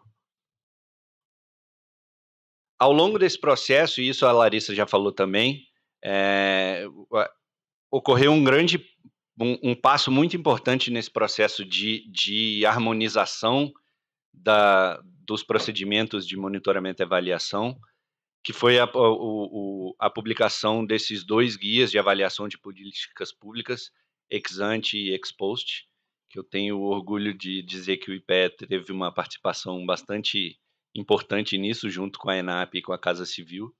E esses dois guias, eles funcionam não só no, no, nas avaliações conduzidas no âmbito do CEMAP, ele funciona como uma, uma, uma forma de homogeneizar a metodologia que é utilizada em avaliação de políticas públicas no Brasil. Bom, é, aí passando para o ano passado, já quando, quando foram introduzidas as, as modificações mais recentes, uh, por meio principalmente do decreto 11558 de 2023, que dá a, a arquitetura normativa do CEMAP hoje. É, o CEMAP conta com a participação de, de cinco órgãos do centro de governo, três da área econômica, planejamento, fazenda e, e Ministério da Gestão, mais a Casa Civil e, e a CGU, Uh, o IPE e a ENAP, desde esse desse decreto do ano passado, participam das reuniões do, do, do Conselho e, juntamente com o IBGE, é, também fazem o apoio, o, o apoio técnico às atividades do, do, do ciclo de avaliação. Uh, uma, outra, uma outra inovação institucional bastante relevante foi a criação da Secretaria de Monitoramento e Avaliação do Ministério do Planejamento, é, que funciona hoje como a secretaria executiva do CEMAP e é, e é uma secretaria voltada especificamente para monitoramento e avaliação e, e, e para quem está no dia a dia dessas atividades sabe que é, é, ter uma secretaria que se dedica a essas atividades é, é fundamental do ponto de vista, do ponto de vista institucional. É, e desde, o, desde 2019, as atividades do CEMAP elas funcionam ah, por meio de ciclos anuais, é, onde há desde a seleção de, das políticas que vão ser avaliadas e a pré-avaliação, ah, passando pela execução da avaliação propriamente dita, até a, a aprovação dos relatórios de, de recomendações e a divulgação desses relatórios e a entrega para o Congresso. Bom, agora eu vou falar um pouquinho das avaliações que, que ocorreram desde a, desde a criação do CEMAP. Uh, antes da criação do conselho, enquanto o CEMAP ainda se chamava Comitê de Monitoramento e Avaliação de Políticas Públicas, é, então, no, no, nos primórdios, digamos assim, da, da institucionalização desse processo, processo de avaliação, uh, ainda não existia, claro, procedimentos e metodologia uniformes, mas foram realizadas um conjunto de, de, de avaliações bastante relevantes é, que eu posso destacar aí a avaliação do FIES, do Programa Farmácia Popular, da Lei Rouanet e, e do Seguro Defeso. É, parte dessas avaliações elas estão sistematizadas nesse livro que está disponível no, no, site do IPEA. Uh, e a partir de 2019, quando começaram os ciclos de é, anuais, já com uma, com uma com um conjunto de procedimentos mais harmonizados e institucionalizados, foram realizadas entre 2019 e 2022 60 avaliações, das quais 60% tiveram participação do IPEA, e essas avaliações foram realizadas com a participação de pelo menos 10 órgãos e entidades da, administração. Ah, é, a gente vê, porém, que a harmonização ainda não estava totalmente completa e tem uma grande variabilidade no, no tipo de, de avaliação de cada política, nos tipos de avaliação de cada política e, e na abrangência de, do, do, da avaliação. Então, a gente tinha algumas avaliações que se, que se debruçavam somente sobre desenho e, e diagnóstico do problema, por exemplo, outras iam até resultados e impactos, isso foi bastante variável. É, algumas dessas avaliações que o IPEA participou, seja como executor ou como coordenador, é, eu destaco aí na área da saúde, avaliação do, da atenção primária à saúde, de atenção é, à saúde em procedimentos de média e alta complexidade. É, quase todas essas avaliações da, na área da saúde, quem coordenou foi a nossa atual presidente, Luciana. Ah, na área social também, o, o IPE participou da avaliação do Bolsa Família, do programa Minha Casa Minha Vida, do BPC, ah, da desoneração da cesta básica. É, na área de educação também, o, o IPE ajudou a, a, realizar as avaliações do, do Programa Nacional de, de Desculpa, está errado ali no slide. É alimentação escolar, não educação escolar. É, da Rede Federal de Educação Profissional e também da Rede Federal de Universidades, da dedução de despesas com, com educação do imposto de renda e várias outras áreas, como, por exemplo, a, a avaliação do, do, Simples Nacional, do, micro, do, do MEI, do projeto de integração do Rio, do Rio São Francisco, dos fundos constitucionais. É. A partir do ciclo passado, do, da, do ciclo de 2023, o, o, a, a SMA liderou um, um conjunto de mudanças e revisões no arcabouço normativo e nos procedimentos do, é, que, que, que alicerçam as, as, as avaliações do CEMAP. O primeiro deles foi um passo adiante na harmonização metodológica das avaliações, é, que, que foi é, incluir todas as avaliações que entram no ciclo, no ciclo regular do CEMAP, como é, avaliações executivas, que são avaliações que tratam, ainda que de forma mais sucinta, de todas aquelas etapas da, da avaliação. Diagnóstico do problema, desenho, é, implementação, governança, resultados, impactos. É, do, ela vai, ela trata a política do começo ao fim, ainda que de forma é, menos aprofundada, e a partir disso ela pode recomendar a, a, a execução de avaliações mais aprofundadas em um ou outro ponto, se for o caso. É, além disso, foram, foram, é, foram conduzidas, ainda estão sendo, na verdade, iniciativas de revisão dos critérios de seleção de, das políticas que vão ser avaliadas e também um aperfeiçoamento do sistema de recomendações para poder melhorar a utilização dessas avaliações e do resultado das avaliações como evidência para o aperfeiçoamento das políticas. Bom, é, eu falei até agora do, do, da institucionalização do sistema central de monitoramento e avaliação no governo federal. Mas é claro que isso não, não é um substituto daquelas iniciativas que, eh, mesmo antes dessa institucionalização, já existiam e que, evidentemente, continuam existindo. É, o que a gente tem hoje é uma rede bastante grande de, de unidades de monitoramento e avaliação e, e, instituições e organismos que fazem monitoramento e avaliação é, mais dispersa e desarticulada ao longo da administração pública federal. É, então, a gente iniciou um projeto em parceria com a SMA também, de, de tentar mapear essa rede de, de unidades de monitoramento e avaliação no, no governo federal. É, o objetivo inicial desse, desse, desse projeto é fazer exatamente isso, é mapear a rede, é identificar quais são as unidades. E aí os objetivos futuros desse projeto é tentar é, ativar essa rede e, e, colocar essa rede é, de, de forma mais integrada e também analisar o funcionamento dessa rede e dessas unidades e tentar mensurar a cultura de monitoramento e avaliação que está dispersa ao longo do governo federal. É, então, o, o, o, primeiro objetivo, como eu disse, desse projeto era, é identificar as áreas de monitoramento e avaliação de, de, dentro de cada órgão da administração, por enquanto da administração direta. Uh, a gente utilizou dois métodos complementares para tentar fazer isso. Um, um, um, primeiro é a consulta direta às secretarias executivas dos ministérios.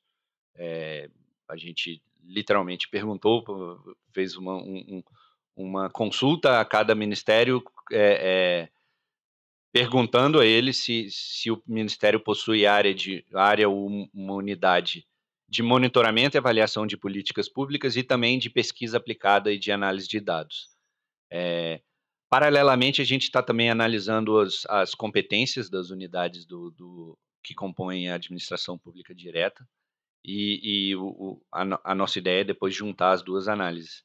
É, esse trabalho ainda está bem preliminar, mas a gente já consegue ter alguns resultados iniciais por exemplo, a, a resposta à, à, primeira pergunta, quantas unidades de, de monitoramento e avaliação o seu ministério possui, é, a gente pode ver nesses, nesses resulta nesse, nesse gráfico que tem uma, uma dispersão bem grande. Tem é, dos 38 ministérios, acho que são 38, é, 13 tem somente uma, uma unidade, Oito tem, não tem, respondeu que não tem, não tem unidade nenhuma.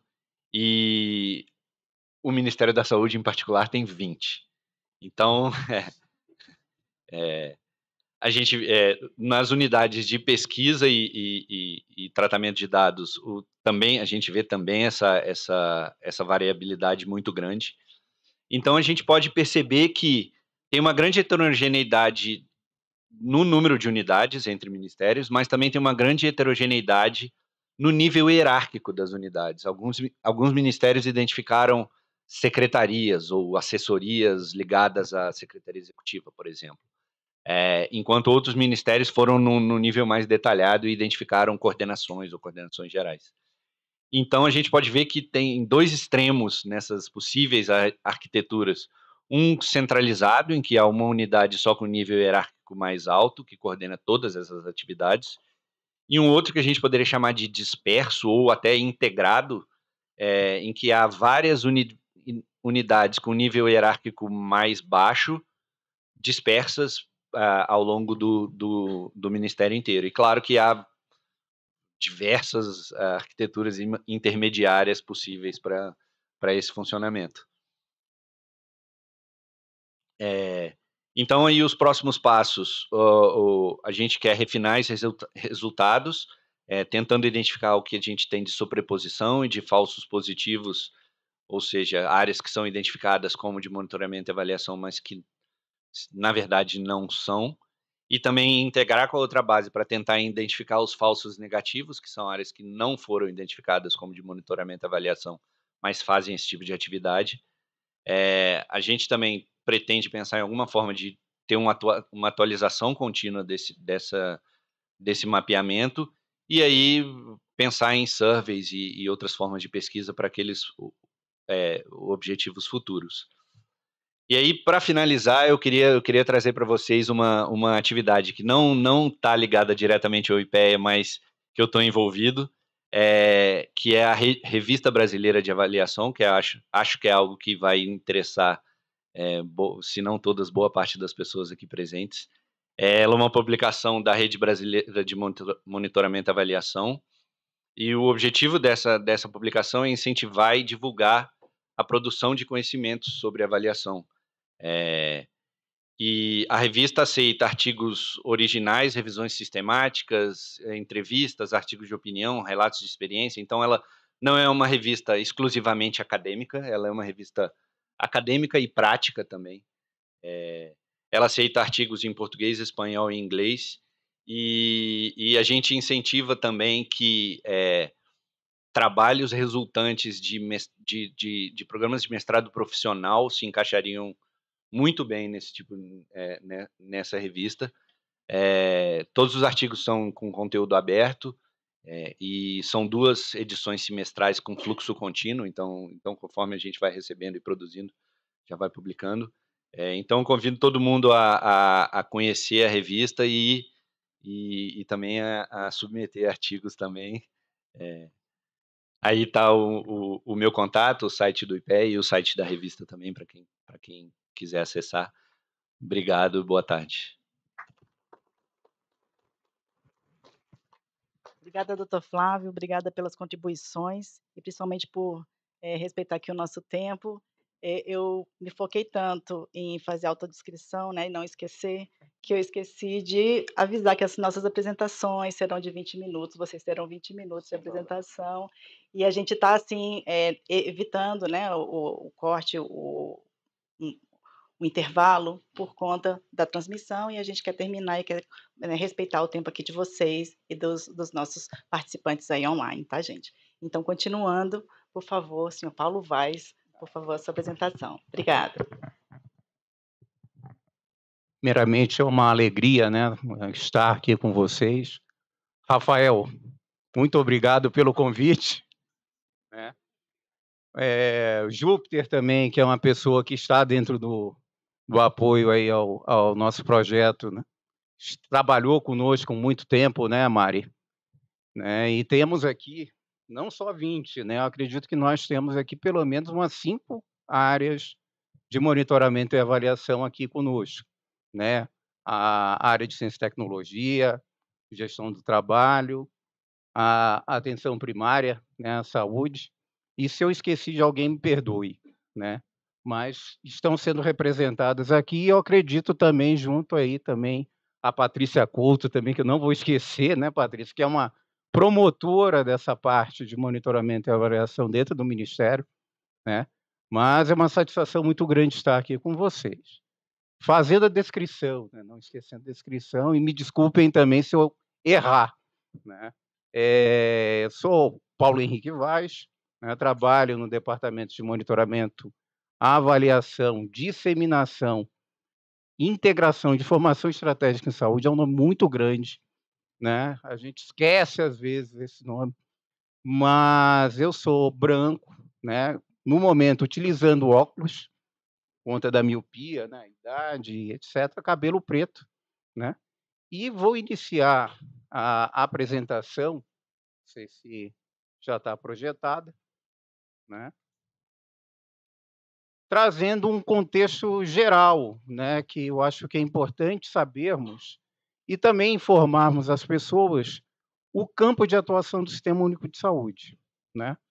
Eu trouxe alguns números que não são números né, é, que a gente possa dizer que isso é o Sistema Único de Saúde, mas demonstra a magnitude do nosso sistema.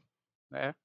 74% hoje da população brasileira, ela utiliza unicamente o Sistema Único de Saúde. Né?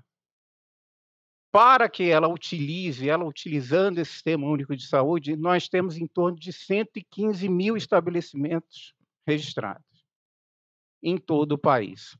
Né? E demonstrando a nossa força de trabalho, que também é sempre importante. Né? Que nós não somos, o SUS não é só federal, mas é estados e municípios. Nós temos aproximadamente em torno de 3 milhões de brasileiros que estão trabalhando nesse sistema.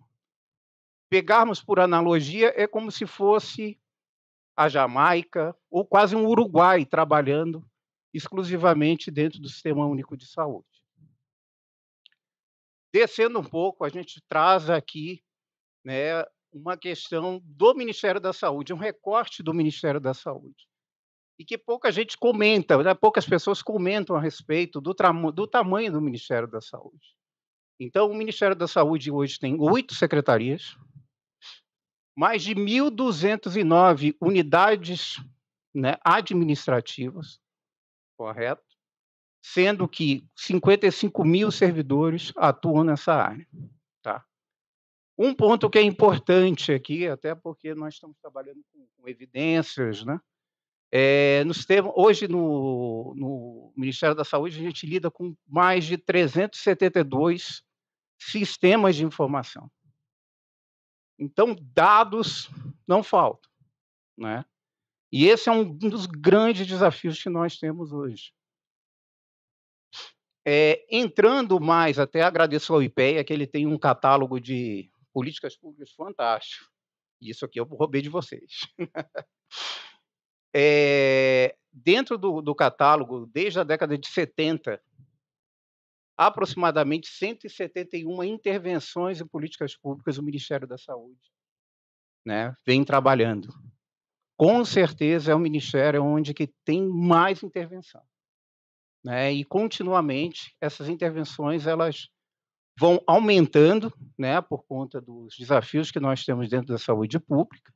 E um fato importante, né, hoje, dentro dessas 171, nós temos 54 políticas, né, duas diretrizes, uma estratégia, cinco planos e mais de 109 programas. Né? Isso demonstra a complexidade de nós fazermos avaliação e também monitoramento. Correto? Entrando no departamento onde eu sou componente, né? Nosso departamento, ele tem como grande missão a formulação e implementação da política de monitoramento do Sistema Único de Saúde. Fazendo essa complexidade, não é um movimento fácil, né? Mas nós estamos tentando alinhar, né, com auxílio das áreas nossas que compõem, que vocês viram que não são poucas áreas, né, de nós trazermos uma integração, uma organização para que, de fato, o monitoramento e a avaliação funcione da forma mais harmoniosa possível. Trazendo, né, saindo do contexto geral, e vou trazendo agora para os nossos grandes desafios, que não são poucos. Né? Os desafios que nós podemos colocar, o primeiro é a adaptação institucional e coesão de políticas. Né? A gente tem um grande desafio que é a questão da cultura, né, de avaliação. Poucas pessoas sabem o que é avaliação de fato, né? Muitos confundem com análise, né? Então, essa base conceitual a gente precisa trazer para aqueles 55 mil servidores que estão lá na ponta, né? Além disso, né, a gente percebe que existem intervenções que têm, são fragmentadas. Algumas é, falam, né, são complementares, por exemplo, a política de, de vamos pegar, saúde, o Tassiana me lembra aqui, PSE, Saúde na escola, a gente tem com o MEC, né, tem algumas outras ações que nós, com a Fiocruz, e nós precisamos é, trazer para o nosso contexto e também alinharmos essas políticas, esses programas, todas essas intervenções que, que nós temos hoje. O segundo grande desafio, acredito, é a definição conceitual. Isso eu acho que nós temos que trabalhar como gestores públicos hoje em dia. Nós confundimos, nós, de fato, não sabemos as diferenças entre políticas, programas, planos, estratégias, ações. Isso, na hora do monitoramento e avaliação, causa muito problema. Né? Além disso, nós temos que trazer né, ao encontro as áreas de planejamento. Por quê? Porque as áreas de planejamento ela tem muita é, atuação e quando a gente vai perceber, todo mundo está fazendo planejamento estratégico hoje dentro dos nossos órgãos. Tem coordenações, divisões fazendo planejamento estratégico. E nós esquecemos o que é tático e o que é operacional. Né? Então, esses conceitos a gente tem que alinhá-los. Conceitos tanto dos instrumentos aí de intervenção em políticas públicas e também alinharmos com os conceitos de planejamento estratégico, planos táticos e operacionais. Né? É, um outro problema é, é a educação permanente, né, que aí contamos aí também com, com, a, com a ENAP, que pode nos, nos auxiliar, e também tem movimentos internos dentro do Ministério que trazem esse tipo de suporte em monitoramento e avaliação. Né? Um outro grande desafio é a gestão integrada de dados. Como vocês perceberam, a gente tem 372 sistemas funcionando dentro do Ministério. Agora, imagina você trabalhar com essa quantidade de dados que, por segundo, são milhões de registros que estão sendo feitos pelos brasileiros. É, o penúltimo desafio é a integração das unidades. Como bem o Flávio falou, nós temos 20 unidades né, de monitoramento e avaliação. Eu acredito, Flávio, que nós tenhamos mais, né? Porque é, tem áreas que da, da área de planejamento, tem também os hospitais federais e etc., que compõem o, o nosso ministério e que a gente não pode esquecer dessas unidades, que elas são importantíssimas porque estão atuando diretamente com o auxílio da população. Né? E, por último, um fato que é interessante a gente trazer é a descontinuidade de gestão. Desde a nova república, né, em 1985, em torno de um ministro ou uma equipe fica em torno de um ano e quatro meses. Né? Isso é um desafio enorme, porque quando há mudança de gestão, há mudança de pensamento, há mudança de estratégia. Né? Esse é um dos grandes desafios, não só do Ministério da Saúde, mas acredito de outros ministérios também. Tendo esse cenário, né, quais são as iniciativas que nós estamos fazendo hoje? Né? Nós criamos, há tempos atrás, o Comitê Consultivo de Monitoramento e Avaliação, né, que tem como principal missão organizar e integrar. Né? Integrar essas áreas que estão espalhadas dentro do Ministério, para que a gente, primeiro, formule a política de monitoramento e avaliação, né? que é o nosso grande eixo central, correto? É, trazer práticas também, estudos, pesquisas, né? E também acredito que o fortalecimento da educação e da formação de uma cultura de avaliação e também de monitoramento.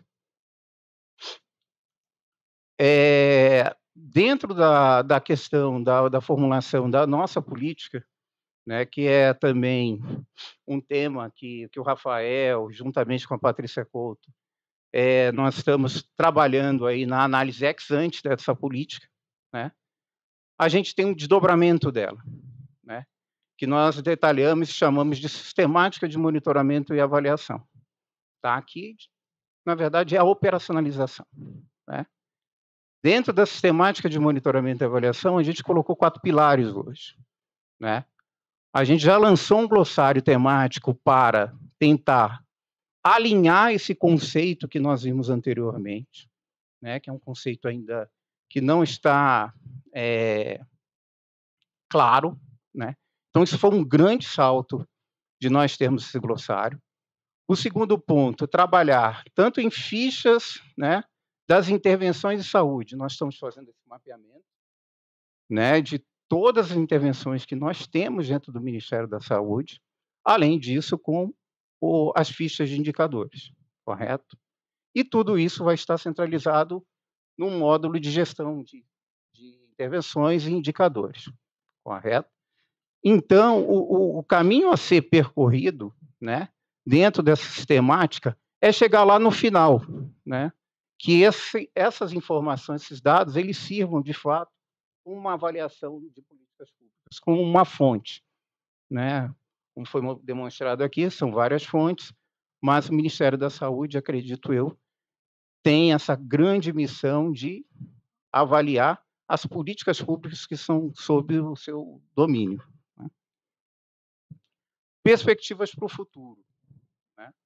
Então, as perspectivas para o futuro né, é a integração de dados, é fortalecer a cultura também de monitoramento e avaliação, um, uma coisa que é desafiadora hoje em dia, que é a incorporação de tecnologias inovadoras. Então, a gente está vendo que tem uma revolução enorme chegando, e, eu, o que eu percebo, né, que muitos nós, gestores públicos, ainda não entendemos essa revolução. Inteligência artificial, machine learning, isso aí não está... É, as pessoas acham que não é uma ameaça, né? mas não é uma ameaça, no meu ponto de vista. E sim, ele vai poder auxiliar muito a nossa questão, tanto de monitoramento quanto de avaliação, em termos financeiros, que a gente vai conseguir fazer agora, né? Um, com grande quantidade de dados, utilizando esses tipos de tecnologia, a gente vai dar resposta ao cidadão, né? Que é que a gente faz tudo isso. E só que nós temos que internalizar e vermos esse desafio, como é que a gestão pública está vendo esse grande desafio e implementar, né, no, no motivo de auxiliar, né? E também o fortalecimento de decisões baseadas em evidência, né? É, é importante também nós destacarmos que não só evidências a gente tem que colocar na, na, na formatação ou na formulação do processo de tomada de decisão. A gente tem que ver os aspectos políticos, né? Os aspectos econômicos e sociais, porque a gente sabe que eles afetam diretamente a tomada de decisão dos nossos gestores públicos. Né? Então, pessoal, é uma breve apresentação, né? É, colocamos o nosso departamento à disposição e agradeço novamente a oportunidade de estar aqui com vocês. Muito obrigado. Obrigada, Paulo. É, e eu vou deixar as perguntas todas para o final, tá? É, por favor, é, senhor Rafael, pode começar a sua apresentação, por favor. Muito obrigado, Kátia. Bom, primeiramente agradeço ao meu xará Rafael pelo convite para estarmos aqui, não poderia deixar de mencioná-lo, né? Alguém com um nome tão belo, tão bonito, minha mãe concordaria. É, e também é uma satisfação estar do lado da, estar aqui na mesa, ao lado do Flávio, muito gostoso ouvir a sua apresentação, especialmente alguém, estar do lado de alguém com esse sobrenome tão proeminente para de avaliação, né? Todo mundo que já estudou certamente citou esse sobrenome quando escreveu qualquer artigo, né? Eu acho que desde a avaliação 101 é o nome que a gente mais lê, né? Então, muito obrigado, tá, tá ao lado, não é a Carol, mas é o Paulo. é, bom, sem esquecer a minha autodescrição, os colegas já estão fazendo a cola aqui para mim. É, começar, meu nome é Rafael Ferrari, sou especialista em políticas públicas e gestão governamental atualmente na Coordenação Geral de Avaliação e Organização de Evidências da ENAP. É, sou uma pessoa de estatura mediana, 1,74, ligeiramente acima do peso. Estou sendo generoso comigo mesmo, né? Tenho uma farta barba cada vez mais grisalha. No sentido inverso, tenho uma cabeleira cada vez menos cheia. Cabelos pretos ainda, mas cada vez mais escassos. É, estou vestindo uma camisa branca, por cima um terno azul, com um quadriculado azul também quase imperceptível. Então acho que minha. E sem gravar. Bom, é, comecei falando que é um prazer estar aqui com vocês, enquanto o colega coloca minha, minha apresentação, por gentileza.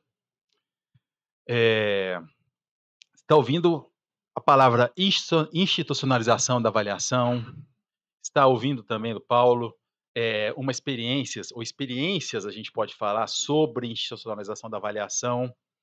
É, e, pense, e quero trazer para vocês a ideia de avaliação como um instrumento de gestão, como um instrumento para aprimoramento da gestão pública. Eu brinquei falando, né, dos cursos de avaliação, introdução à avaliação, né, é, da Carol Weiss, que todo mundo leu. Mas se formos recordar os nossos cursos de introdução em políticas públicas, fundamentos de políticas públicas, por exemplo, a gente estuda lá formulação de políticas, modelo de formulação, modelo de análise, né? E eu arriscaria dizer que 90% das pessoas tiveram primeiro contato com o modelo do ciclo de políticas públicas, que é o primeiro modelo que a gente vê. É, e lá temos, né? o ciclo de políticas, começando com a adoção da agenda, passando pelas etapas de formulação, etapas de implementação, etapas de monitoramento e etapas de avaliação, e aí retroalimentando a formulação da política. É, essa ideia é tão bonita quanto falsa, né? E por que, que eu estou retomando essa ideia? Porque eu acredito fortemente, cada vez mais, que pensar avaliação como uma etapa de política pública nos leva a pensar que ela vai acontecer por bem ou por mal, que ela vai acontecer naturalmente. Mas a gente sabe, a experiência aqui, os relatos de todos os colegas mostraram o tamanho do esforço que é fazer avaliação, que é transformar a avaliação em uma prática institucionalizada. Então é muito contraproducente a gente pensar no contexto do ciclo, né? E aqui eu não quero retomar nenhum debate teórico que Sabatier faz desde a da década de 80, quando ele fala, no máximo é uma heurística, né, para a gente pensar, pode ajudar, mas na verdade atrapalha a gente pensar as políticas públicas em si. E atrapalha mais ainda a gente que é do campo da avaliação. Então eu trago a ideia, se avaliação não é uma etapa, o que avaliação é? Então eu trouxe aqui a ideia de avaliação como instrumento de gestão. E é uma forma que a gente tem encarado lá na ENAP. Mas, ao mesmo tempo, folgo muito em ouvir que a avaliação também pode ser, e aí não são contra, contraditórios, não é uma dicotomia, que a avaliação também é uma política pública. Uma política meio, uma política de gestão, uma meta política, como a gente já tradicionalmente entende a política de gestão pública, é, a política de gestão de pessoas ou a política de gestão orçamentária, né? Mais tradicionalmente a gente fala, e menos tradicionalmente a política de avaliação exemplo, a gente faz até uma avaliação, uma ex-ante que vocês estão fazendo, né? Que projeto muito bacana, que projeto interessante. Então é muito interessante, folgo muito em a gente estar tá pensando aqui a, a, a, uma política de, de avaliação. É aqui que eu passo. E aí eu queria trazer, eu discuti até com as colegas, né? Se era um perga, se eu trazia um pergaminho, se eu trazia uma pedra dos mandamentos, essa ideia. Mas a gente optou assim, de forma não consensual, pelo pergaminho por dois votos contra um. Porque é algo muito importante, assim, eu gostaria de trazer como algo clássico, muito caro para nós, que é enxergar a avaliação tendo como propósito o aprimoramento das políticas e não a necessidade de provar um ponto, se algo é bom ou ruim, se algo funciona ou não funciona. Então, isso aqui eu coloquei ele quase um mantra, né? Esse texto é do clássico livro do essa é uma epígrafe, na verdade, do livro é, é, Avaliação Educacional e Tomada de Decisão, lá de 71, do Staffobin. Está lá na epígrafe e eu gosto muito. Porque a gente acredita que é muito rico a gente pensar a avaliação na perspectiva do aprimoramento das políticas públicas. E aí eu passo, nos, vou na direção de pensar que talvez seja um dos principais propósitos, certamente não é o único. Existem muitas formas, e o pensamento plural é bastante interessante, de encarar a avaliação. E essa ideia de avaliação, tanto com conceito quanto prática, é uma ideia que vem evoluindo, embora não linearmente, desde meados do século passado. Não é estranho a gente pensar isso, pessoal? Faz tanto tempo que a gente pensa avaliação, por outro lado, a gente está tão no começo, né? A gente está tão cru pensando nisso, a gente está tão verde, mas isso mostra o tamanho do desafio. E essa evolução ela tem sido representada de diversas formas pela literatura. O professor Vedung fala em ondas, a Larissa citou o professor Vedung que estará conosco, né? aliás, aniversário antes do dia. uma pequena lembrança aqui. É, a gente tem Gubilin, que fala em gerações de avaliação. A gente tem o, o Alkin, que fala em ramos, né? E temos várias outras formas. Eu gosto particularmente dessa metáfora das ondas e das gerações. Porque assim como a gente convive com nossos pais, ou seja, várias gerações convivem, a ideia de ondas também traz a ideia de que vem as ideias na primeira onda científica, como ele coloca, a segunda onda dialógica, a terceira da nova gestão pública, e hoje, como o professor Vedão que fala, onda de evidências, e essa onda vem e vai deixando sedimentos. Então, na segunda onda, ela não, não tira tudo que está na primeira. As ideias permanecem, a terceira a mesma coisa, a quarta. Então, essa ideia é muito interessante. E quando eu falo ideias, eu falo dos métodos, dos propósitos, das diversas abordagens avaliativas. E, e a forma de pensar a avaliação como uma atividade contextual. Qual é a melhor forma de avaliação, a melhor forma de trabalhar a avaliação? Existe a melhor forma, a melhor abordagem? Tudo vai depender do contexto. Pessoal, os economistas que me perdoem, mas gostam muito de falar do padrão ouro da avaliação, né? Coloca a avaliação de impactos, RCTs, como padrão ouro. Sei que não é consensual isso, mas muitos colocam. E certa vez eu discutindo, discutindo no bom sentido, né? Como um colega foi falando, não, a gente tem que fazer um RCT aqui, que é o padrão ouro da avaliação. Eu falei assim, padrão ouro da avaliação é aquela que traz informação que é útil para o gestor. Então esse é o principal, é a minha principal perspectiva. E por que todo esse preâmbulo? Para contextualizar a avaliação dentro da ENAP. Vou fazer só umas mal traçadas linhas aqui, porque felizmente minha colega Larissa já fez uma boa apresentação, mas quando a gente pensa em Escola Nacional de, de Administração Pública, a gente pensa em formação, a gente pensa em servidores, a gente pensa, obviamente, uma escola de governo, a gente pensa em aprimoramento, né? Pensa a questão do conhecimento e da prática. E é isso. E então, o que é pensar a avaliação nesse contexto? Larissa já nos fez um, um uma boa apresentação disso. Vixe, aqui está muito pequenininho. a questão dos óculos, né? Estou sentindo muito falta deles. Eu acho que já faz uns dois anos que eu não faço consulta, estou precisando. Mas vamos pensar no contexto da assessoria para avaliação que ela colocou, que a gente é uma assessoria, não uma consultoria. Isso é importante notar. Avaliação como instrumento para qualificação da gestão pública é, pensando em atividades avaliativas como oportunidades de formação na prática. Não estou entrando em detalhes aqui, porque a Larissa muito bem já apresentou o que a gente faz e como a gente faz. E pensando na, no desenvolvimento de capacidades em avaliação. Então, tudo que a gente faz, pensando em avaliação, na prática de avaliação, no nosso evaluation policy, né? Pegando a perspectiva do Tolkien, assim, qual que é, o que, que orienta? E muitas vezes essas políticas, essa política, assim, essa diretriz de avaliação, às vezes é implícita, às vezes o pessoal não pensa muito, não reflete sobre isso, às vezes ela está explícita. E a gente tem caminhado nessa explicitação, né? Para que que a gente faz avaliação? Como a gente faz avaliação? Qual a utilidade, o uso intencional que a gente quer para ela? A gente tem caminhado nessa direção. E sempre pensando também junto com o desenvolvimento de capacidades, desenvolvimento de capacidades na perspectiva de formação em serviço, mas também em desenvolver novas técnicas, novas abordagens. A Larissa trouxe a ideia do laboratório que a gente está querendo fazer, está querendo testar. A gente também vai caminhar nesse sentido.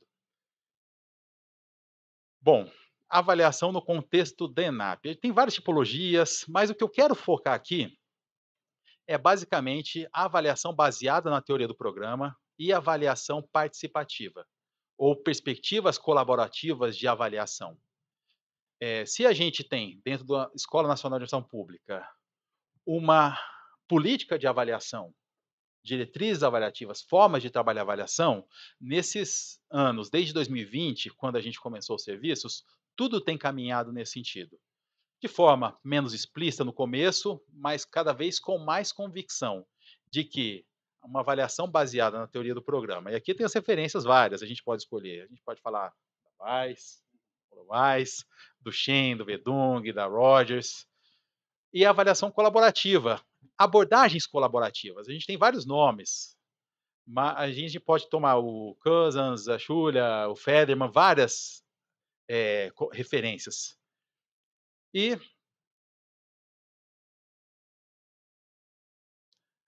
avaliação da, na teoria do programa. A base dela é justamente pensar a política como uma hipótese, né? Tipo, eu tenho um problema, se eu tenho problema A, então eu vou fazer uma determinada intervenção pública e vou gerar um resultado B, meu objeto. E a avaliação ela entra onde? Ela entra justamente para testar essa hipótese. Essa é uma leitura da perspectiva mais de engenharia social, daquela leitura mais científica, né, de avaliação, mas a gente pode falar que é por aí, avaliar como um teste dessa hipótese. Mas a gente pode pensar que, eventualmente, o programa pode falhar. E se ele falhar, ele vai falhar por quê? A gente pode pensar que ele falhou porque a hipótese é falha. A hipótese não funciona. A gente pode pensar, por exemplo, é, com o programa Segundo Tempo, para lembrar o clássico texto da colega Marta, né? A Marta Cassiolato escreveu lá em 2010 ainda sobre esse tema de modelo lógico, teoria do programa. Segundo tempo, intervenção escolar, mais tempo na escola, tira o menino de, de, de atividades violentas, por exemplo. É, pode ser que essa hipótese seja falha, mas pode ser também que tenha acontecido falhas na implementação desse, desse programa. Ou seja, eu nem consegui, na verdade, chegar ao momento de testar essa hipótese. E é por isso que a gente pensa que é tão interessante essa perspectiva avaliativa, essa abordagem. teoria do programa não é um método de avaliação em si, é uma abordagem, uma forma de encarar a avaliação que visa explicitar todos esses componentes, explicitar todos esses elementos. E justamente porque ele permite a gente identificar se o problema foi na hipótese ou se o problema é na execução, ela isso permite que essa abordagem nos dê informações tão ricas. E aqui eu tenho o que é isso, né? A gente acabou falando, né, o que é a teoria do programa, né? Esse conjunto de crenças e expectativas sobre o que vai acontecer se eu fizer alguma coisa tentando mudar um determinado problema. E aí vocês já devem certamente, não sei se aqui todos são escolados, certamente quem está aqui já é escolado no tema, né? Mas talvez quem está assistindo ali pelo YouTube, não sei. Mas a gente tem vários nomes de, de chamar teoria do programa. Talvez você já tenha ouvido falar teoria do programa, teoria da intervenção, teoria da mudança, teoria substantiva, teoria da ação, teoria da implementação, modelo lógico, matriz lógica. Tudo isso, na verdade, a gente está falando da mesma coisa. É, está na mesma sopa ali. Com algumas diferenças ao, da forma de encarar, a forma de olhar. Uma clássica, por exemplo, essa distinção. O que explica, por exemplo, a hipótese? Seria a teoria da mudança, para alguns, para a maioria, na verdade. E aqueles e os insumos que vão me levar a ter a conseguir realizar diversas atividades, que vão me levar a realizar diversos entrega de, entregar diversos produtos, que vão me levar a alguns desses resultados, seria a teoria da ação ou teoria da implementação. E justamente eu conseguir olhar para esses produtos acaba ficando bastante interessante. E aí a gente, eu queria retomar com vocês o propósito da avaliação. Se o nosso propósito é aprimoramento da gestão, pensando tanto na questão das escolhas, do que fazer dessas hipóteses, né, do, do, da, de, da forma de encarar a política, a escolha das soluções, mas pensar também na questão dos insumos. A gente fala muito da questão dos insumos, né, que são necessários. Mas a gente, no dia a dia do gestor, quantos gestores aqui já passaram por atividades de contingenciamento? Situações de contingenciamento. Poxa, isso bagunça toda a teoria do programa. Se você tem um, um impacto, você precisa de determinado resultado intermediário para reproduzir esse impacto. Mas para alcançar esse resultado, você precisa ter uma entrega de determinados produtos. Para esses produtos, você precisa de determinadas atividades e dos insumos para ela. Se você não tem nem o insumo básico porque foi contingenciado, poxa, fica complexo a gente entregar.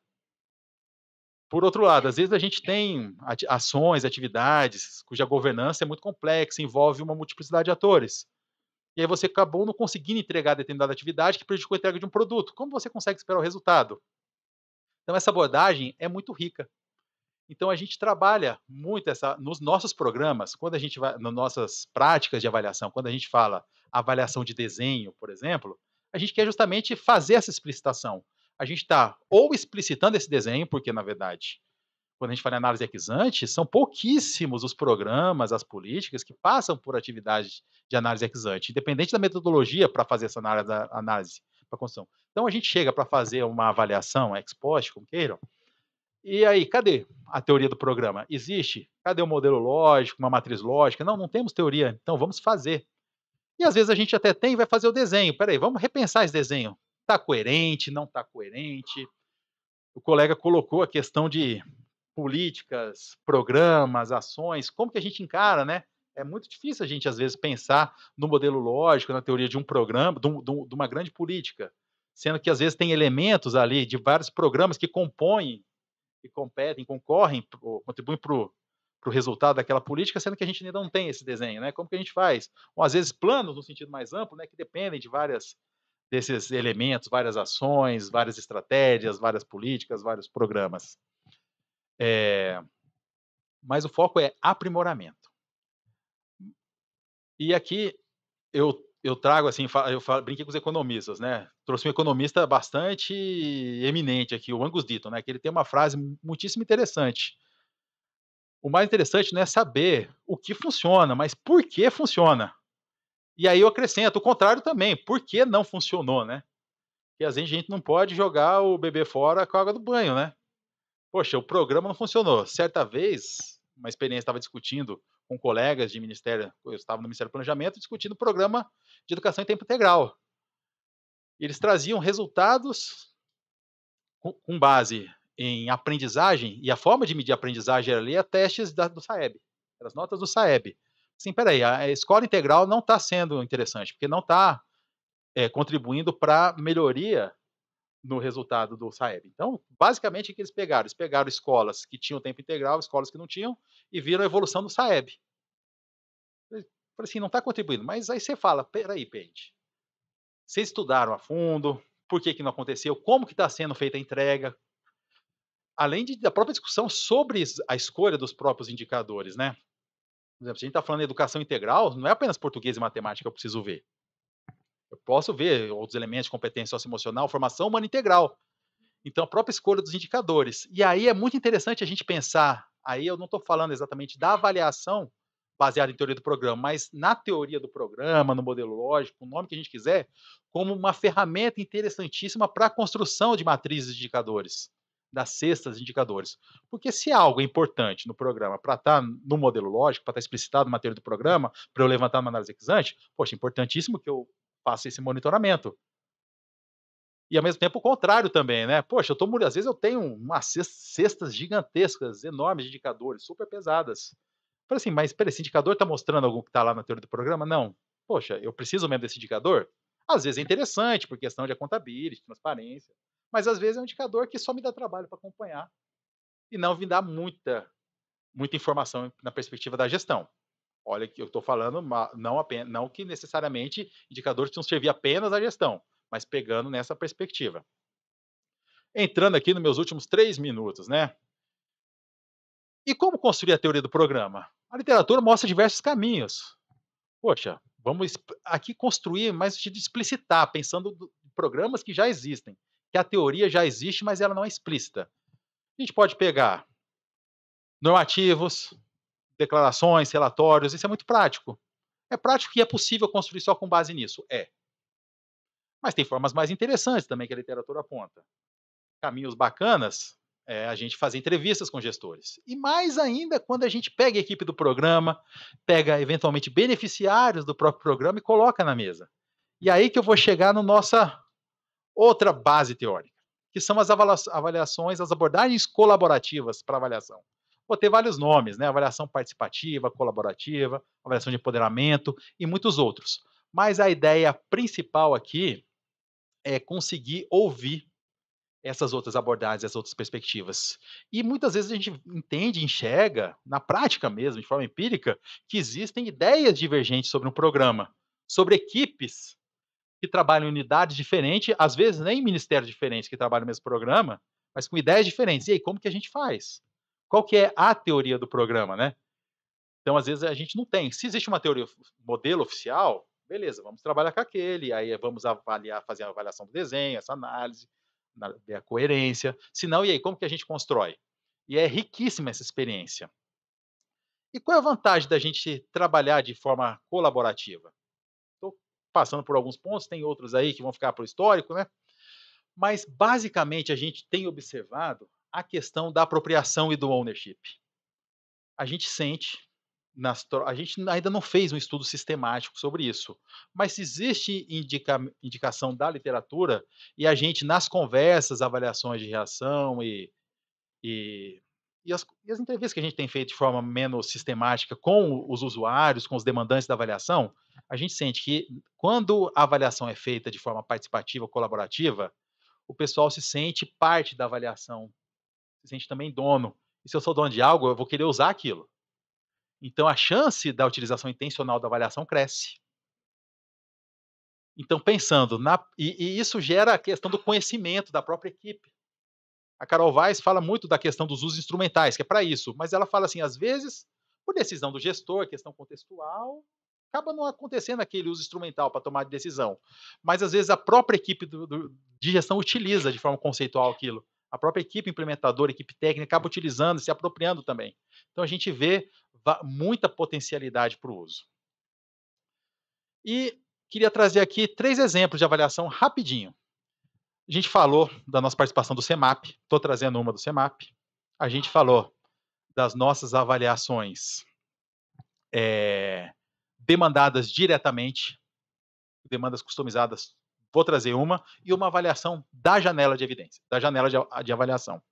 Começando pela da janela avaliação, que foi a avaliação da gestão de concursos públicos no governo de Minas Gerais. Gente, isso aqui foi um desafio gigantesco.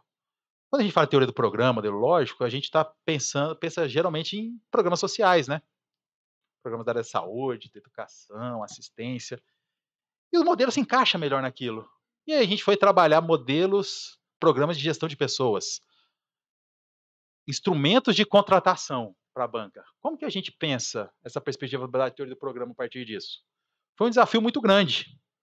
Interessante a gente trazer esse desafio aqui. É, mas aí a gente foi conversando, viu que a gente tinha esse grande problema e grande oportunidade na mão. Então a gente foi conversar, dialogar com a turma da inovação da ENAP. Né? A ENAP é muito famosa pelo laboratório de inovação, a turma de Genova. Então a gente bebeu, se beneficiou de muitos, algumas ferramentas dele. Fizemos o casamento dessas ferramentas com os modelos das ciências sociais que a gente traz. Foi muito interessante. E, e é interessante também, ali tem um, um videozinho do YouTube que vocês podem ver a apresentação que o, o responsável pela área na Secretaria de Planejamento de Minas Gerais fez. Ele traz muito a questão de como isso contribuiu para o aprendizado interno da equipe. E eles identificaram o grande problema como segurança jurídica na contratação. Ou seja, a gente não, não tem segurança daquilo que a gente está fazendo. Como que a gente consegue ganhar isso? Então, o processo da avaliação foi de grande valia para eles. Muito mais o processo do que o resultado, mas também, né, aquela coisa do o que importa, né, o, é o caminho, né, não só o destino, né? aquela lógica do Grande Sertão Veredas. Um outro, uma outra política muito interessante foi a análise equisante que a gente fez da Política Nacional de Proteção ao Ambiente Escolar. Em outubro saiu a reportagem em vários jornais, a política ainda não, não foi implementada, ainda não saiu o normativo dela, mas aqui eu trago tudo aquilo que saiu nos jornais. E foi muito interessante aqui, porque a gente faz uma equisante, como deve ser, com colaboração do Rafael que participou conosco, e a gente tem aqui um casamento muito legal do EVEX. É interessante, o EVEX fez dois produtos aqui, um guia de políticas públicas, de como que é utilizado, e um benchmarking também, uma revisão sistemática, na verdade, né? A gente fez. Então é muito interessante esse casamento. Ou seja, a gente está usando evidências para informar o nosso processo de, de, de avaliação ex ante. É, e, e, e foi muito interessante entender essa avaliação como um insumo, um subsídio para o processo de decisão. Se vocês entrarem nessa reportagem que está ali no link, vocês vão ver. A, a turma, ele, eles falam assim, a equipe DENAP, né? Tipo, assim, a gente não quer o protagonismo, porque o protagonismo é deles, e aqui era um GTI interministerial com mais de oito representações. É, mas foi interessante, basicamente, perceber que nós somos um subsídio, houve subsídio também do Fórum Brasileiro de Segurança Pública, e outros também, na perspectiva que você falou. A gente se entende como não política baseada em evidências né, em si, mas informada, né? E se entende como um determinante. O, existem muitos determinantes para a policy, né? E aqui é o caminho muito interessante que a gente passou nas atividades. E chegando para finalizar, uma avaliação que foi feita no contexto do CEMAP, né, do Programa de Financiamento das Importações do PROEX. E aqui uma forma diferente de construir. Aqui a gente não fez de forma participativa esse modelo lógico, essa teoria do programa. Aqui a gente fez com análise documental e entrevistas, para falar que, eventualmente, dependendo do contexto, a gente realmente tem várias outras formas, outros caminhos para seguir. E é interessante aqui mostrar as, algumas possibilidades de diferentes formas de representação da teoria do programa. Em amarelinho ali, a gente tem o, um print do guia de análise ex post, que foi publicado pela Casa Civil. O modelo básico ali do modelo lógico. E à esquerda a gente tem o modelo lógico representado pela, pela equipe do programa, pela equipe de avaliação. Então, é uma forma diferente de representar, uma forma diferente de olhar. E a gente está fazendo, nessa questão de trabalhar forma de representar, a gente está fazendo muitas discussões sobre formas de melhor representar essa teoria do programa. E a gente entende que, às vezes, a melhor forma de representar uma política não é a melhor forma de representar, talvez, um programa. E a gente tem políticas e programas que são bastante simples. O modelo pipelinezinho reflete bem. E a gente tem, às vezes, políticas muito complexas que o modelo pipeline ele acaba ficando muito complexo e perdendo aquela capacidade de comunicação que a gente tem. Então, eu trouxe esses dois modelos para representar essas ideias e, e trazendo a ideia para reflexão. E é isso, pessoal. Peço desculpas pelos três minutos extras. Obrigada estão nossos contatos.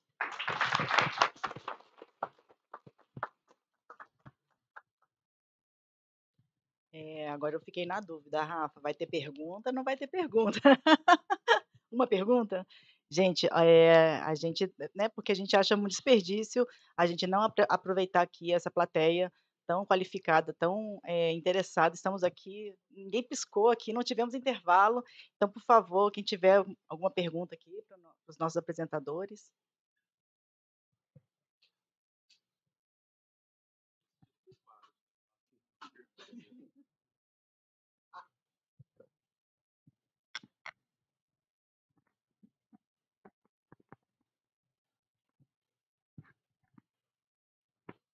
Olá, boa tarde. Meu nome é Jorge Barreto, sou pesquisador aqui na Fiocruz Brasília. É, assistindo tudo com muito interesse, acho que é uma temática que cada vez mais a gente deve trazer para dentro da nossa casa, aqui na Fiocruz Brasília, que tem um mestrado em políticas públicas, e a gente é dedicado a estudar políticas públicas em diversas perspectivas. É, porque eu tenho um background de experiência de gestor municipal de saúde, eu fui secretário de saúde por oito anos no município do interior do Piauí, chamado Piripiri, aonde a gente implementa, né, a, vamos dizer, a transformação da norma na realidade e, ao mesmo tempo, eu também atuava como representante para a ciência e tecnologia no CONASEMS, que é o Conselho Nacional Secretário dos Pais de Saúde, e era parte do Conselho Nacional de Saúde na Câmara de Ciência e Tecnologia. Então, eu tinha, de uma forma privilegiada, uma visão, vamos dizer, é, multifacetada do processo inteiro. Por causa disso, é que a minha pergunta diz respeito ao processo de formulação de política e como a avaliação faz parte disso. Né? Gostei bastante da perspectiva que o Rafael trouxe, aonde é, faz parte do processo de formulação, que muitos chamam de planejamento, é, descobrir o que nós queremos mudar. Pode ser um, um, um problema mais complexo, pode ser um problema mais simples, mas descobrir o que nós queremos mudar é, nos leva a uma outra questão: o que nós vamos fazer diante disso? E aí entra a discussão sobre se o que nós decidimos fazer realmente tem o poder de transformar aquela realidade. E aí surge a ideia da avaliação ex ante que vem contribuir com essa discussão. Mas acima de tudo, quem formula é, eu diria que tem quase uma obrigação moral de fazer considerações sobre o que acontece após as suas decisões. E isso, obviamente, só pode ser representado pelo monitoramento e avaliação do ponto de vista prático. Então, eu queria que a mesa é, discutisse sobre essa questão do quanto, do quanto é, quadros de referência para o monitoramento e avaliação devem fazer parte do processo de formulação de políticas. Seja num processo mais estruturado, seja num processo menos estruturado, onde só se sabe o que a política quer produzir, se você for perguntar à pessoa que formulou, isso acontece. Você tem políticas aqui no Brasil que são formuladas conectando intenções e resultados sem nada no meio, sem é, processos de implementação explicitados, e isso sendo, vamos dizer, transferido para a etapa de implementação, sob o fundamento, obviamente, de autonomia governamental federativa, mas que também gera outros problemas, como, por exemplo, o problema de coordenação é, no federalismo brasileiro.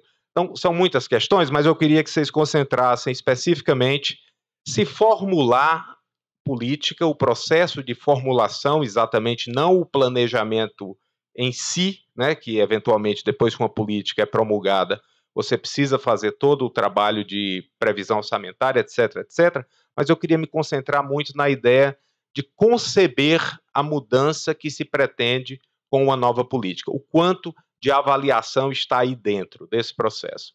Obrigado, Rafael.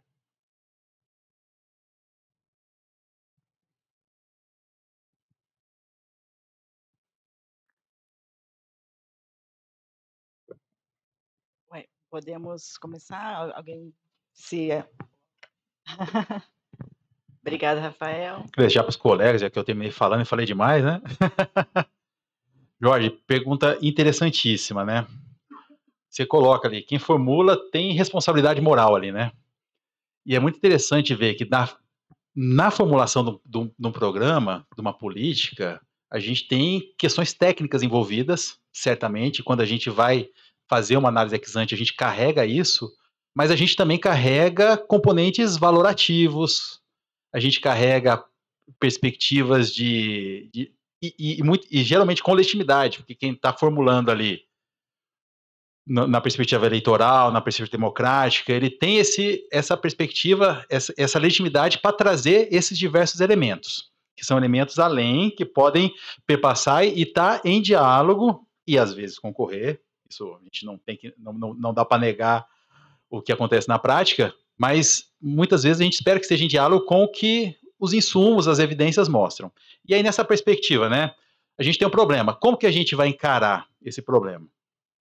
É, eu não consigo responder essa sua pergunta do, é, sem, a, sem dialogar com uma perspectiva mais prescritiva dessa formulação e de que o gestor ele deve, o formulador ali, ele tem que ter abertura para entender de que o que ele está trabalhando ali, na verdade, é uma proposição, é uma hipótese e nesse sentido ele tem abertura justamente para entender que do, no, no, no, ciclo da política e aqui eu estou falando de, novamente prescritivamente é, existe possibilidade dele identificar que, olha, essa minha hipótese falhou. E aqui eu estou dialogando com a perspectiva da teoria da mudança ali. Ao mesmo tempo, ele tem que estar tá aberto para trazer o monitoramento, uma perspectiva de monitoramento aí contínuo, e aí enxergando a teoria do programa, principalmente na abordagem mais da teoria da implementação, teoria da ação, é, de enxergar que eu preciso construir mecanismos de gestão, mecanismos de acompanhamento, indicadores de processo, indicadores relacionados à implementação, que vão permitir que ele observe, que a equipe desse programa consiga observar se de fato aquilo que eu julguei necessário na minha análise ex ante para que a minha hipótese aconteça, para que aquele programa realmente aconteça, se, aqui, se aqueles elementos se tornaram uma realidade se eu conseguir entregar contento, se eu não conseguir. Então, assim, prescritivamente, entendo que é, o, o, o formulador deve, tá nesse, deve, deve trabalhar com aquilo. Por outro lado, a gente sabe que, na, na real, o gestor que tem o dia a dia ali atolado de coisas, com equipes pequenas, equipes curtas, ele acaba deixando, às vezes, o monitoramento e a gestão de lado. O, o modelo aqui, o exemplo que o, que o colega Vaz trouxe, o que o Flávio trouxe, do exemplo do pessoal da saúde, com 20 unidades de monitoramento, isso, infelizmente, é exceção ao que a gente observa na esplanada. Quando o que a gente enxerga, na verdade, é o imediatismo do gestor tentando implementar a qualquer forma. Então, se ele chegou a fazer a avaliação ex ante para construir essa, para formular essa política, se ele conseguir ou quiser trabalhar o monitoramento e acompanhamento, isso também vai ser uma exceção. mas será, será uma exceção bem-vinda, e, e aí que é o nosso esforço, né? A gente tem que trabalhar para conseguir avançar na institucionalização dessas práticas avaliativas, independentemente do, do, do, caráter e da composição e da abordagem que ela trouxer. Foram muitas perguntas, espero ter conseguido abordar um pouquinho de cada. É só fazer uma complementação. Eu acredito que é, a gente tem que mudar um pouco também a mentalidade, tanto dos órgãos de controle, né, e também demonstrar à sociedade, de fato, que a avaliação ela tem que estar voltada para resultado e impacto. Né? Isso aí que, que é difícil, né? que hoje em dia, até para nós fazer um redesenho de políticas, né? de propor novas, a gente sempre está focando na parte econômica e financeira, né? numa base contratual, né? que, que é que todos que já foram gestores sofrem, né? E a parte avaliativa ela vai ser importantíssima para nós atuarmos nesses dois blocos, né? demonstrando que, de fato, o resultado aconteceu e o impacto também para a população. Bom, eu concordo totalmente com o que os dois colegas falaram. Eu queria acrescentar só duas coisas. Uma delas é que o, o Jorge falou em planejamento para você formular uma política. E se você faz esse planejamento e não prevê um monitoramento e avaliação, é a mesma coisa que você. É, você quer chegar em algum lugar, você joga no GPS, e se tiver uma estrada bloqueada, você continua indo pelo caminho que você tinha planejado inicialmente e não muda nada. O monitoramento e avaliação é o, é o GPS te avisando sua rota tem que ser recalculada para tal lugar, tem que, tem que fazer essa curva agora e não aquilo que você tinha planejado antes. Então, o, a formulação da política prever a forma com que ela vai ser monitorada e avaliada é, é, é, fundamental. Isso tem que estar previsto desde o começo e isso vai é, isso vai facilitar, inclusive, a vida de quem está fazendo avaliação de impacto lá no final. É, não tem como você fazer uma avaliação de impacto bem feita sem você saber exatamente o que, que você queria que fosse esse impacto. O que, que você estava pensando que ia ser esse impacto. É, então, é, esse incorporar essa atividade de, de, monitoramento, a previsão do monitoramento e avaliação no, no planejamento e na formulação da, da, política é fundamental. Obrigada, eu agradeço. Eu acho que a gente não tem mais tempo, né? Eu agradeço aqui, mas as nossas perguntas aqui pela, pela live aqui, vocês podem fazer, viu, gente? Quem está acompanhando a gente pelo YouTube, pode fazer as perguntas que a gente vai responder depois por, pelo chat e passar para vocês. Dever de casa. Obrigada.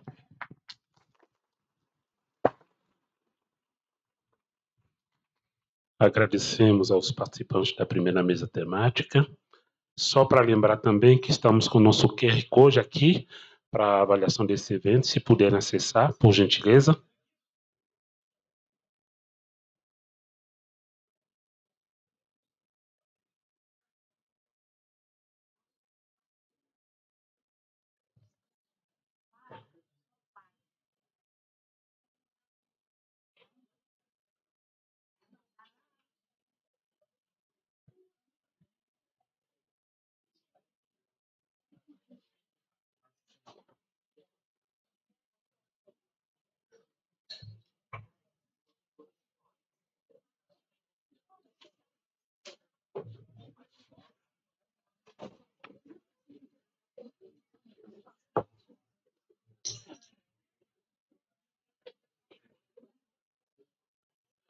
Dando continuidade ao nosso evento, convidamos para a nossa segunda mesa temática e a última, doutora Letícia Alves Santiago, especialista da Coordenação Geral de Evidências do Ministério da Saúde.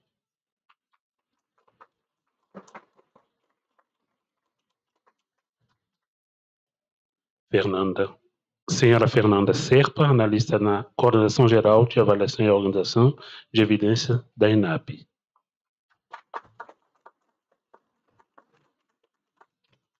Dr. Maurício Motoya Saboia Pinheiro, pesquisador da Coordenação de Planejamento e Análise de Políticas Públicas do IPEA. Convidamos também a nossa moderadora, doutora Flávia Elias, coordenadora do Programa de Evidências para Políticas e Tecnologias de Saúde da Fiocruz Brasília.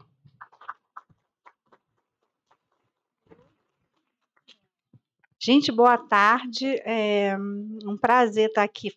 Falar em avaliação, em pesquisa, em evidência é muito bom, né?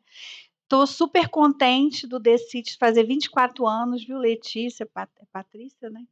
Porque é, é, vim de lá, né? Sou sócia fundadora desse departamento, cheguei lá em 2001 e saí em 2013. Então, quer dizer, tem um, um, um chão aí, né? Mas deixa eu fazer minha autodescrição. Eu sou branca, com os cabelos assim já ficando grisalho, uso um óculos rosa, estou com uma blusa branca e uma saia rosa que rosa faz bem, faz bem assim para minha paleta de cores. e não vou falar a idade não, mas sou uma jovem senhora. Né? Então vou agradecer a Fernanda, ao Maurício e a Letícia, pessoas que estou conhecendo hoje, né? Mas é muito bom. E ficar com essa última mesa e assistir tanta coisa interessante e falas e, e a ver o trabalho da ENAP, parabéns, achei maravilhoso a apresentação do ENAP e o trabalho do IPEA é bem mais conhecido, né? A gente já acompanha esses relatórios todos maravilhosos que vocês fazem. E tá nessa parceria aqui, foi muito bem-vindo, Rafael, que eu não quero que cite o nome dele, mas alguém tem que é, fazer essa rede da própria Fiocruz, porque a Fiocruz é uma coisa muito grande, gente. É um negócio assim muito grande. Você imagina, tem Rio, só, em, só dentro da unidade Brasília eu tô, a gente estava ali conversando com Luciana. Bem, que, que a gente faz o que a gente tá, é, a gente tem esse mestrado que tem várias dissertações de pessoas que estão nas políticas públicas e vêm aqui muitas vezes pedir para fazer vários tipos de avaliação e análise, monitoramento. Tem o Jorge Barreto, que trabalha muito tempo com toda a parte da EVPNet do Neves, tem eu que sou, é, vamos dizer assim, fundadora do, hoje da política de incorporação de tecnologia em saúde, que vocês ouvem hoje como Conitec. Foi uma coisa que eu comecei a trabalhar dentro do DECIT ainda, em 2005, né? E uma política que é um estudo de caso institucionalizada, que vocês estavam falando aqui sobre institucionalização das políticas, então a política de gestão e incorporação de tecnologia em saúde, ela foi publicada em 2009. 2011 vem uma lei, claro que não foi porque houve uma portaria do Ministério da Saúde. A agenda do processo de incorporação de, de tecnologias é uma agenda gritante que envolve muitas partes interessadas, envolve partes interessadas com dinheiro, com muito dinheiro, tem uma, uma função de botar dentro do Ministério da Saúde um fluxo explícito de como se dá o processo de incorporação, como é que o que, que o SUS vai pagar ou não vai pagar. Então, é, se eu fiquei aqui pensando no estudo de caso que eu ajudei e contribuí com sangue e alma no período que fiquei. Em 2011 surge a lei né, de incorporação de tecnologias e cria a Conitec, que antes era uma CITEC, uma comissão menor. A gente tinha feito todo um ensaio e veio a Conitec, que se criou um departamento próprio. Esse é um super exemplo de institucionalização de uma política que usa evidências para fazer avaliações daquilo que o SUS vai pagar ou não para o sistema de cobertura universal nosso. Então, é um, um super desafio. Então, eu estou aqui pensando, a gente está nesse grupo aqui da Fiocruz, já vai fazer 10 anos, já ano que vem. Vamos até fazer uma comemoraçãozinha de 10 anos, mas é, o que, que a gente tem de desafio? Mesmo uma política altamente institucionalizada, onde você tem tudo padronizado de métodos, etc. e tal, e você tem a, própria comissão é, com, com todos os, os, seus membros, suas subcomissões de medicamento, equipamento e protocolo, e você tem mil formas de como avalia aquilo, a evidência clínica, a evidência econômica, o impacto orçamentário que entra na evidência econômica, a evidência sobre é, é, organização de serviços, como eu vou distribuir, como eu vou implementar. Mesmo assim, tem muitos desafios nisso, tá? Então, você vê, mesmo uma grande institucionalização, ainda tem desafios a, a, a seguir, porque se vocês forem ver o perfil de incorporação que a gente adota no Brasil, eu fico me perguntando aonde está a equidade ali. E fico me perguntando, porque também somos um núcleo de avaliação de tecnologias que faz parte da rede brasileira de avaliação de tecnologias, que foi uma coisa também criada e sustentada até hoje, que apoia a produção de evidências para a Conitec.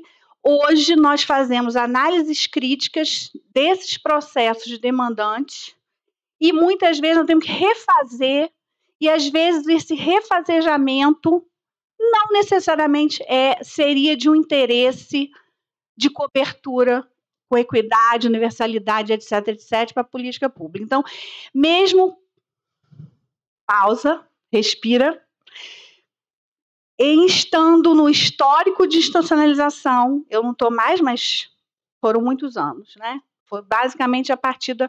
Eu saí em 2011, mas antes tudo foi feito 2011 foi a, a, vamos dizer assim, a inauguração da lei. Mesmo olhando várias é, é, benchmark que a gente fez com o NICE, que é aquele instituto do Reino Unido maravilhoso, que tem um orçamento lindo, maravilhoso, que tem uma rede de universidades com capacidade instalada há muito tempo, você vê que a gente tem hoje um processo de uma política onde a gente tem uma passividade no processo de incorporação. Cadê a pauta ativa? Cadê o Ministério falando que a minha agenda é esta aqui, não vai ser esta aqui? Vai ser esta aqui. Esta aqui é a minha agenda de prioridade. Porque o que acontece? O processo está bem definido, está ótimo, está institucionalizado, está ótimo. Só que a nossa capacidade de avaliação é aquém da quantidade de coisa que se pede. Então, quando a gente está falando de avali monitoramento, avaliação aqui, eu fico pensando na contabilidade disso, porque isso custa, isso custa muito dinheiro. Mas isso é só, não vou falar mais, é só um depoimento de quem estava numa política e continua nela, porque hoje nós somos um núcleo que fazemos parte da rede. Eu represento a região centro-oeste na rede, nós agora vamos ter uma turma temática de avaliação de tecnologia de saúde aqui, dentro do nosso mestrado profissional. Os interessados vão no site, o edital está lá, até dia 22 de abril.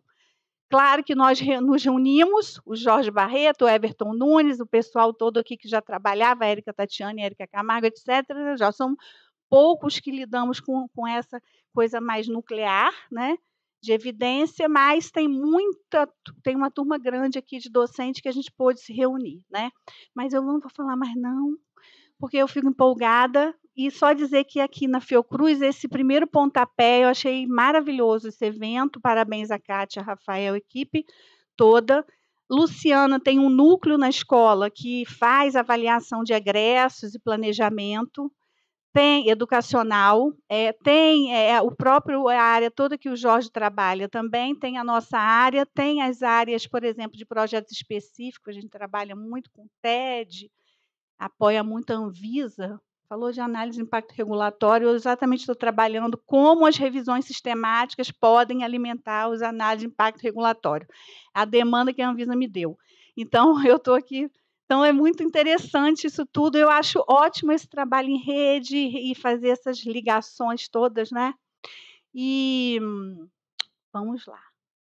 A ordem eu vou deixar, eu vou passar para Fernanda. Vamos as damas primeiro, né? Maurício first. Fernanda Serpa, muito obrigada. Então, com a palavra. Muito obrigada, gente. Muito obrigada, Flávia, pela apresentação e essa introdução é, super empolgada que eu também compartilho.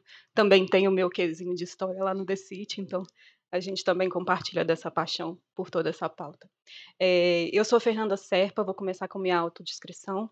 É, eu sou uma mulher branca, deixamos a idade para depois, mas assim, a gente já recorre a uma tinta de cabelo, a gente já está precisando do óculos que não veio hoje. É, tenho cabelos escuros, levemente tingidos de vermelho, não sei dizer a cor do meu cabelo. É, olhos negros, uma blusa preta e branca e uma calça preta. É, vou começar minha apresentação, se o colega puder compartilhar, por favor. É, a gente não estaria aqui, pode passar primeiro. Ah, desculpa. É, eu sou Fernanda Serpa, então, eu estou na coordenação geral de avaliação e organização de evidências lá na Escola Nacional de Administração Pública e fui precedida pelos colegas Larissa e Rafael, que fizeram apresentações também extremamente apaixonantes e amorosas sobre o trabalho que a gente faz e que são serviços que a gente não tem como não se apaixonar, né?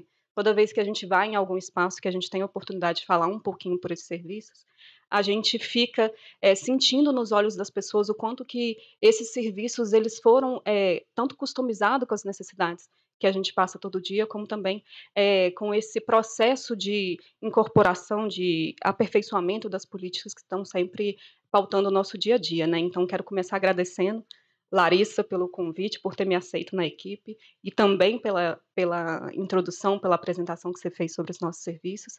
Rafael, pela apaixonada explanação sobre avaliação, que a gente tem o, o prazer de sempre estar lá na ENAP né, discutindo um pouquinho sobre avaliação e sobre como que a gente pode trazer isso para a nossa rotina. E vou passar esse slide aqui para fazer um agradecimento especial. Assim que eu conseguir descobrir qual é, descobrir a Tamile, que é a nossa criadora desse serviço, mas também a Vanessa, que está aqui com a gente hoje, compondo dentro desse serviço, né, do Serviço de Evidência Express, é, trazendo essa reflexão em como que a gente pode trazer né, as evidências para o nosso dia a dia, tanto dentro dos nossos serviços, como também dentro dos outros problemas que a gente tem na gestão das políticas públicas. Né.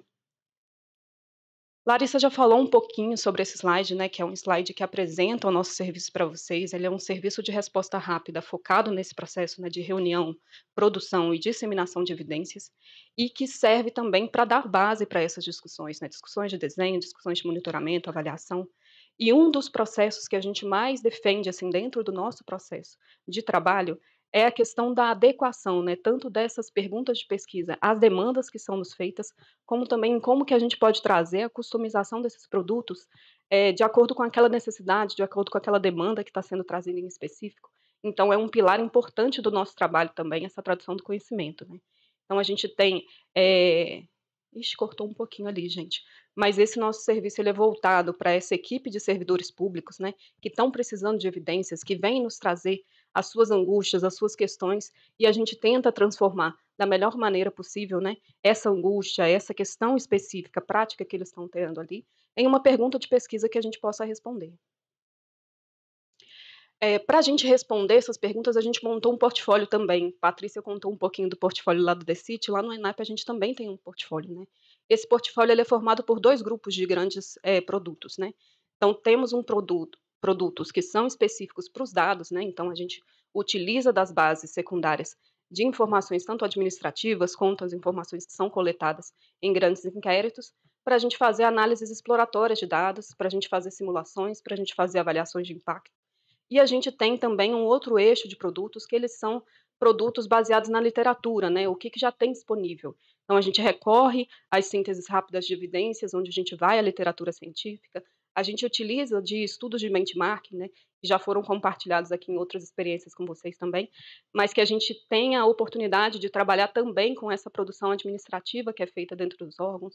A gente vai aos países, a gente vai às instituições para a gente tentar trazer é, um descritivo dessas experiências e como que essas experiências podem auxiliar a gente nas questões nacionais, né? Então, o Ministério vem nos procurar, o Ministério vem nos perguntar, né, como é que ele faz para descobrir como o país ou o estado X trabalha certa questão, e os nossos pesquisadores que compõem esse núcleo são os responsáveis por fazer esse compilado, né, trazer esse compilado de experiências para a gente através dos benchmarkings.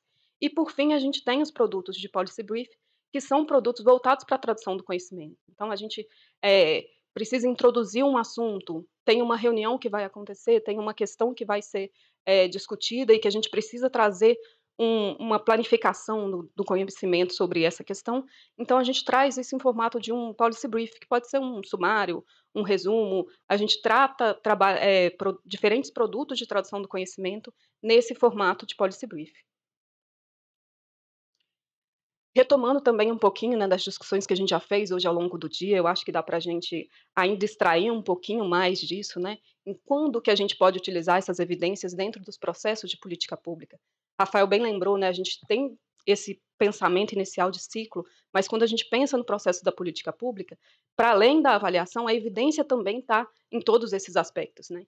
Então eu posso, por exemplo, utilizar evidências quando eu estou falando de um problema, eu preciso descrever esse problema. Eu vou coletar informação de novo? Às vezes não. Às vezes eu já tenho disponível pesquisa realizada sobre isso, uma base de dados que já traga essas questões. Então, isso também se aplica às causas, também se aplica às consequências, aos próprios impactos. Né? Se eu já tiver disponível, por exemplo, uma série de, de dados para calcular o impacto de uma determinada intervenção, eu posso solicitar ao EVEX, por exemplo, uma avaliação de impacto, que é isso que a gente faz. A gente não vai fazer a avaliação de impacto como um todo, mas a gente vai fazer aquele processo de processamento das informações para o cálculo do impacto. Então, eu posso usar, por exemplo, os benchmarkings, eu posso usar as síntese de evidência para fazer o mapeamento das alternativas políticas, para ver se eu consigo é, fazer uma coisa relativamente similar ao que já é realizado em outro lugar, ou eu posso fazer, por exemplo, um diagnóstico dos arranjos de governança, né? Eu vou é, investigar como esses arranjos de governança estão funcionando e posso usar, por exemplo, a comparação para fazer uma análise desses arranjos. E posso também, por exemplo, usar os estudos de barreiras e facilitadores para avaliar os mecanismos de implementação de uma política. Então, o tempo todo que eu estou realizando uma investigação, o tempo todo que eu estou realizando ali é, uma pesquisa ou uma avaliação, eu posso utilizar as evidências. Eu posso recorrer a esse conhecimento que já foi produzido dentro do, do universo científico, dentro do universo empírico, para a gente trazer esse nosso fim maior, que é o aprimoramento de políticas públicas. Larissa também já deu um spoilerzinho, né? A gente sempre brinca que a gente produz de alfinete a foguete, mas aqui a gente tem alguns exemplos, né, de produtos que estão no nosso portfólio, que estão no nosso Infogov, né, que é o nosso repositório de produtos. E eu chamo a atenção de vocês para o terceiro ali, eu não sei se vocês estão conseguindo ver, mas é a regulação de inteligência artificial. Que esse não foi um dos casos que a gente trouxe para discutir com vocês, mas é um caso que a gente sempre menciona, porque ele foi um desafio muito grande que é a gente pegar um tema que ninguém entendia nada sobre isso, que era super novo, inclusive no Brasil, e a gente trazer evidências para a discussão da regulamentação do uso de inteligência artificial no país. Então, assim, para a gente é um caso sempre de muito orgulho, onde a gente é, pode mostrar, né, que não é pela barreira da existência ou da inexistência de evidências que a gente não pode contribuir para uma discussão. Então, a gente tem ali, por exemplo, o cadastro rural, a gente tem ali também é o óculos fez falta. Efeitos. Não consigo ler ali o segundo, eu acho que é ProUni, porque eu estou vendo um estudantezinho ali de mochila nas costas, mas a gente tem também é, o, a, acho que é transferências de renda e capacidade parental, né? Então, assim, a gente trabalha com temáticas diversas dentro das políticas sociais, a gente trabalha muito também com temas regulatórios. As agências são grandes clientes do EVEX, né, digamos assim, clientes bem entre aspas nos demandam muito em como a gente pode auxiliar, principalmente na construção dessas comparações, como é que a gente pode trazer essas evidências para dentro das discussões regulatórias. E. Obrigada. E, por fim, eu queria falar para vocês um pouquinho dos nossos principais resultados, aprendizados ao longo desses anos. Né? Nós somos um núcleo que tem quase quatro anos, né? a gente vai fazer em breve quatro anos de existência, e a gente já elaborou um pouquinho mais de 90 produtos. A gente já atendeu mais de 22 órgãos, né? Então, dentro desses órgãos, como a Larissa e o Rafael já falaram um pouquinho, a gente tem órgãos federais, a gente tem alguns atendimentos estaduais também que foram realizados dentro das janelas de avaliação. E uma das coisas que a gente sempre aprende, assim, é o quanto que é importante a gente trazer esse entendimento, esse contexto. Eu fiquei muito feliz quando eu vi na apresentação dos colegas esse tema já sendo abordado, porque eu acho que é um dos pontos mais importantes, né? A gente entender de onde vem essa demanda, quais que são aquelas falas que não são ditas sobre essa demanda e que precisam ser consideradas quando a gente está produzindo essa evidência. A gente tem também como um pilar importantíssimo um aprendizado e uma coisa que a gente defende com todos os nossos as nossas forças, né? que é esse engajamento, né, essa interação e colaboração com os nossos demandantes, para que a gente tenha um resultado de pesquisa que seja aquele resultado mais adequado, que seja aquele formato que vai ser facilitador do uso dessa evidência, para que a gente possa é, ter uma conversa com esse, esse demandante no nível da dúvida que ele está tendo, né? para a gente não trazer um, um, conhecimento ou trazer um, um destaque que está muito distante da capacidade da construção prática que ele tem ali relacionada àquele problema. Né? E, por fim, é, discutimos muito hoje, eu acho que ainda temos muito o que discutir sobre a questão da institucionalização do uso de evidências, né? como um dos processos que demanda e depende desse fortalecimento de capacidades, né? Então, um pouquinho diferente do processo que acontece dentro da assessoria, né, onde tem essa coprodução, onde tem essa construção conjunta do relatório do processo avaliativo, a gente, por ser um serviço de resposta rápida, né, a gente funciona com produtos de 5 a 7 semanas, a gente demanda esse essa negociação, essa construção da demanda pela pesquisa muito mais próxima do, do gestor e o processo de elaboração da pesquisa em si, ela fica muito mais próxima dos pesquisadores.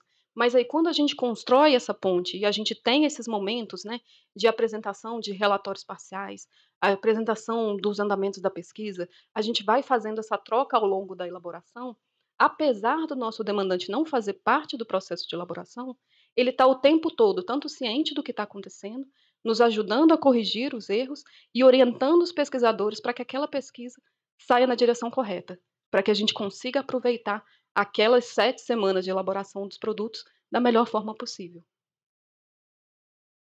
Por fim, a gente trouxe é, três pequenos casos. É, o Rafael já adiantou para vocês, né?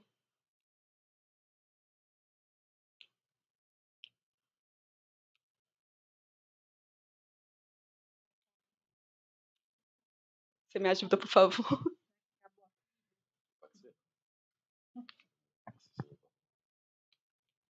Desculpa, gente, problemas técnicos. Obrigada. Então, o Rafael já trouxe para vocês, né, um dos casos em que a gente fez esse casadinha, né? A gente atendendo o Ministério da Educação nessa análise ex ante, é, para um grupo interministerial que estava discutindo, né, essa política de proteção do ambiente escolar, a gente tinha esse desafio, né, que era uma temática que o Rafa já explicou um pouquinho do contexto, né, uma temática extremamente sensível, mas que a gente tinha em mãos uma oportunidade de uso das evidências fundamental. A gente poderia fornecer para esse grupo muito diverso, né, composto por pessoas de várias áreas é, setoriais diferentes, pessoas que estavam interessadas na construção é, de, uma, é, de uma proposta, de uma análise ex ante que fosse elaborada o mais, não vou dizer completa, mas o mais informada possível naquele momento, né, considerando que era uma temática além de extremamente sensível, é uma circunstância que era relativamente nova para o contexto brasileiro, a gente enxergou isso tanto como esse desafio, como também essa oportunidade. Então, o que, que a gente fez enquanto serviço? Né? A gente ofereceu para esse grupo uma overview, que é uma síntese de síntese de evidências, né? A gente trouxe uma revisão de revisões sistemáticas que já tinham sido elaboradas sobre a temática, tanto no contexto brasileiro quanto em contextos internacionais, para que a gente pudesse identificar aqueles pontos de convergências, pontos de divergências, aqueles pontos que a gente poderia aprimorar, aqueles pontos que a gente poderia destacar para a discussão desse grupo. E essa síntese foi acompanhada também por um policy brief, que foi esses principais destaques, né? É, esses destaques é, que foram é, identificados na síntese, que foram identificados nessa overview, foram trazidos para os gestores de uma forma que fosse mais palatável, que fosse mais traduzida, que a gente conseguisse aproveitar em grupo melhor esses resultados da síntese, né? E um destaque também que eu gostaria de fazer sobre esse atendimento é que ele é um pouquinho diferente do que a gente costuma fazer no EVEX. No EVEX a gente tem um grupo de pesquisadores que faz parte do nosso time fixo, mas nesse caso, considerando essas circunstâncias, a gente adotou a estratégia de buscar também especialistas. Então a gente foi atrás de especialistas no assunto para que a gente conseguisse trazer, especialmente nesse policy brief, toda a sensibilidade que essa temática podia trazer. Então, é, a gente tem é, esse caso também, como além de ser um caso desafiador, além de ser um caso de oportunidade, um caso de muito carinho também, porque é um caso onde a gente conseguiu acompanhar, tanto é, por meio do serviço da assessoria, quanto pelo serviço do EVEX também, essa, esse potencial, essa possibilidade de utilização tanto das evidências quanto do resultado final dessa análise ex ante para o processo é, de tomada de decisão, né, dentro desse grupo. Então, como os colegas colocaram antes, esse é um pedaço do processo de tomada de decisão, mas que para a gente, enquanto pesquisador, para a gente, enquanto órgão público, para a gente, enquanto fomentador desse processo de utilização de evidências, para a gente já é um caso de muito sucesso, quando a gente tem a oportunidade de é, apresentar é, em momento oportuno essas evidências.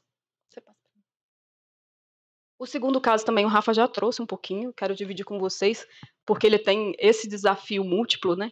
Então, para a parte da síntese de evidências também, dentro da própria avaliação é, de utilização de pregões em contratação de bancas de concurso, a gente tinha primeiro esse baque, né? O que, que a gente vai achar sobre esse tema?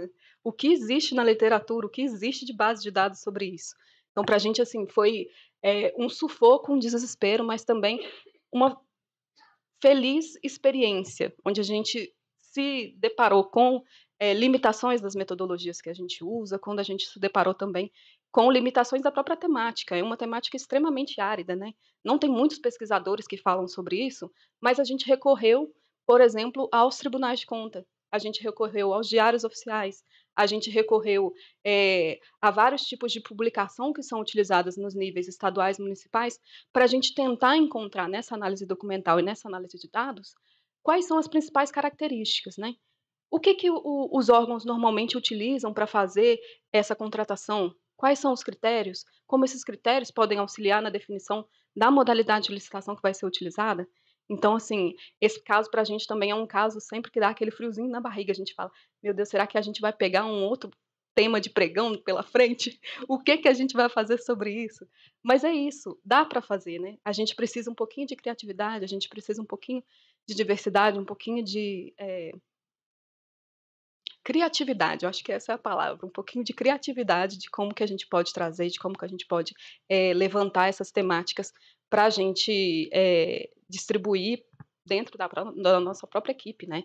A gente tem uma equipe de pesquisadores que é uma equipe é, especialista em metodologias de pesquisa. Então, assim, a gente não foca na contratação de especialistas temáticos, a gente traz especialistas em metodologia que vão conseguir nos ajudar a fazer esse desenho dessas pesquisas, atender esses, essas temáticas da forma da melhor forma possível, né? Você passa para mim. E por fim, o nosso último exemplo também é um exemplo do coração, é o Conselho de Monitoramento e Avaliação de Políticas Públicas, né? Que a gente já falou aqui amplamente, os colegas já trouxeram muitos aspectos, não vou entrar nesses detalhes, eu vou só contar para vocês o que, que a gente trouxe aqui, o que, que a gente achou nessa experiência, que para a gente foi muito interessante, que é essa expost que foi feita do programa de pró-residência, né? Que era um programa é, que estava sendo avaliado, se eu não me engano, foi no primeiro, no ciclo 2020, né? Em, foi depois? Ah, foi um pouquinho depois, desculpa, gente. Tô, desde a pandemia eu tô com dificuldade de, de achar os anos que foram dentro da pandemia. Para mim é tudo 2020. Desculpa, gente. Então, é, obrigada esse programa de pró-residência ele deu para a gente duas oportunidades muito legais. A gente conseguiu trazer uma diversidade metodológica dentro das análises de dados que a gente é, adora contar essa história, né? A gente estava tentando descobrir quais as características desses programas e quais as características dos participantes desses programas, né? Então a gente conseguiu nessa análise de dados trazer para esse grupo que estava fazendo a avaliação é, uma análise espacial e a gente conseguiu trazer também um benchmarking, ou seja, a gente conseguiu mostrar a distribuição espacial desses programas, desses médicos, quais que eram as características, quais que eram os atratores, quais que eram é, os elementos que acabavam afugentando esses profissionais né, nessa distribuição territorial no Brasil, e a gente conseguiu trazer para esse grupo discutir também um benchmark sobre como os programas de residência eram realizados em outros países. Então, assim, se eu tenho uma dúvida de como o meu programa está funcionando, como é que eu posso trazer elementos para fazer essa discussão? Tem alguém que está fazendo melhor? Tem alguém que está fazendo diferente? Está fazendo diferente em quê? Está fazendo diferente por quê? Então, a gente entender um pouquinho desse contexto e trazer um pouquinho disso numa análise comparativa também ajuda a que a, as pessoas que estão discutindo, que estão trazendo esses aprimoramentos para as políticas, eles tenham elementos extras para essa discussão, né? É, eu não vou me estender mais, que eu acho que eu já passei do tempo. mas eu queria agradecer demais ao Rafael, que não pode ser mencionado. Desculpa, brincadeira, gente. Eu queria agradecer o convite que a Fiocruz fez para gente, na pessoa do Rafael, da Flávia, que está aqui na, na, mesa conosco. É também um orgulho dividir essa mesa tanto com Maurício quanto com Letícia. E deixa eu passar aqui os slides para deixar os nossos contatos para vocês. É, nós temos esse e-mail né, para falar diretamente lá no, no, no, nosso serviço de resposta rápida, o Evidência Express, e nesse telefone também vocês podem encontrar ou eu ou Vanessa, que está sentada ali na plateia. Depois Vanessa dá um tchauzinho para a galera. Muito obrigada, gente. Maravilha, eu estou impressionada. Vocês são quantos? Sete? Sete e uma rede de quantos, mais ou menos, trabalhando? 7 mais 7, 14. Fizeram 90 produções, parabéns, muito bom, excelente. e é uma coisa interessante aqui na sua fala, vou fazer um comentáriozinho que faz parte, gente, de quem coordena, eu sou dessas, né?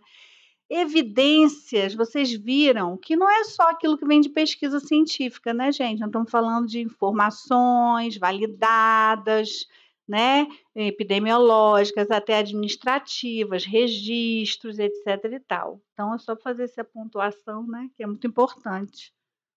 É Letícia Santiago, do Departamento de Ciência e Tecnologia, meu departamento do coração, com a palavra.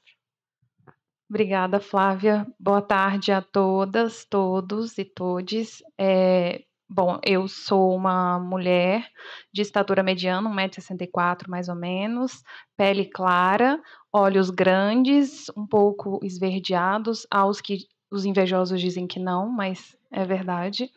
E, e, e tenho cabelos é, castanhos, cacheados na altura dos ombros. Estou vestindo um conjunto bege, que não está na minha paleta, e um casaquinho branco com bege. Bom, é, eu sou então consultora técnica da Coordenação Geral de Evidências em Saúde e eu vim aqui é, apresentar um pouco para vocês sobre as evidências numa perspectiva novamente das avaliações. Não, não estou na mesa errada, porque a avaliação também gera evidências, né? Então, eu queria. Ah, a minha apresentação está aqui.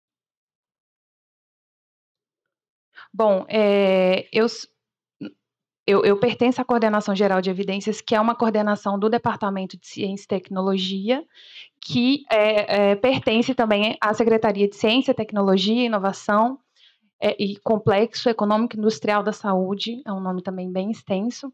É, eu vou colando aqui, tá? Porque eu trouxe a cola. Ah, tá, chegou.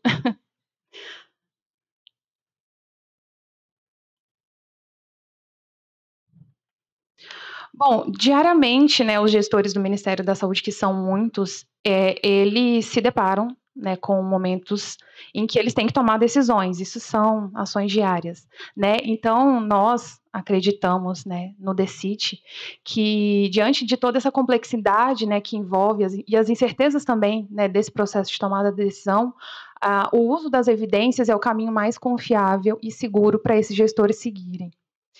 Então, nesse contexto, né, diante também da missão do nosso departamento, que já foi apresentada pela Patrícia Couto, o DECIT, ele implementou algumas iniciativas, né, ele plantou algumas sementes, e ele justamente tem essa missão, né, essas iniciativas, é, de oferecer as melhores evidências para os gestores do Ministério.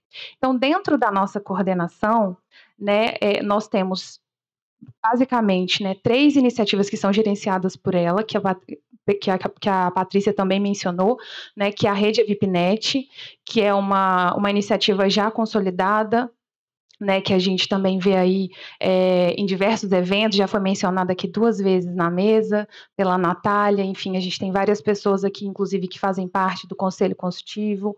É, então, temos também um NEV, né, que é um núcleo de evidências que compõe a rede EVIPNET, então nós temos um NEV dentro do Ministério da Saúde, que também, assim como os demais NEVs que compõem essa rede, tem o objetivo, tem a missão de ofertar evidências secundárias para os gestores na saúde, e nós temos então o NAPS, que é um núcleo de avaliação de políticas, ele tem justamente também esse objetivo de gerar evidências por meio da elaboração, por meio do fomento de pesquisas avaliativas.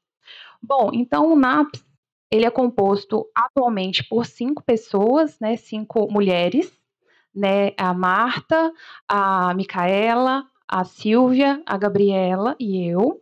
Ele também já foi composto pela Fernanda Serpa, minha colega de NAPS, é, que foi uma das que ajudou a plantar essa semente e que apoiou também muitas das iniciativas que eu vou mencionar aqui, que nós já conseguimos desenvolver aí é, nesse curto espaço de tempo, né? Apesar de que a gente foi implementado em 2019, mas vocês sabem, né, que a pandemia ela chegou e aí as coisas elas ficaram um pouco confusas, a gente teve que se dedicar a outros trabalhos e aí é, talvez de uns dois, três anos é, para cá que a gente vem de fato se dedicando a estruturar esse núcleo.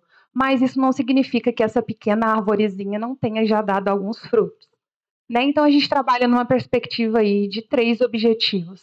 Né? O primeiro objetivo é promover e fortalecer a elaboração de pesquisas avaliativas para o SUS. Então, é, nessa perspectiva, nós então firmamos um TED com a, a UFBA, no qual foram desenvolvidas seis avaliações executivas. Esse TED foi firmado em 2019. É, essas avaliações já se encerraram, né? Nós estamos entregando o resultado dessas avaliações. Já foi, na verdade, já foram apresentados os relatórios, mas nós teremos um evento ainda esse mês com os gestores dessas áreas para então apresentar esses relatórios e os seus respectivos produtos de tradução do conhecimento. Então, nós temos essas seis avaliações é, é, é, executadas pela UFBA, mas nós também temos iniciativas que foram executadas pela própria equipe do NAPS.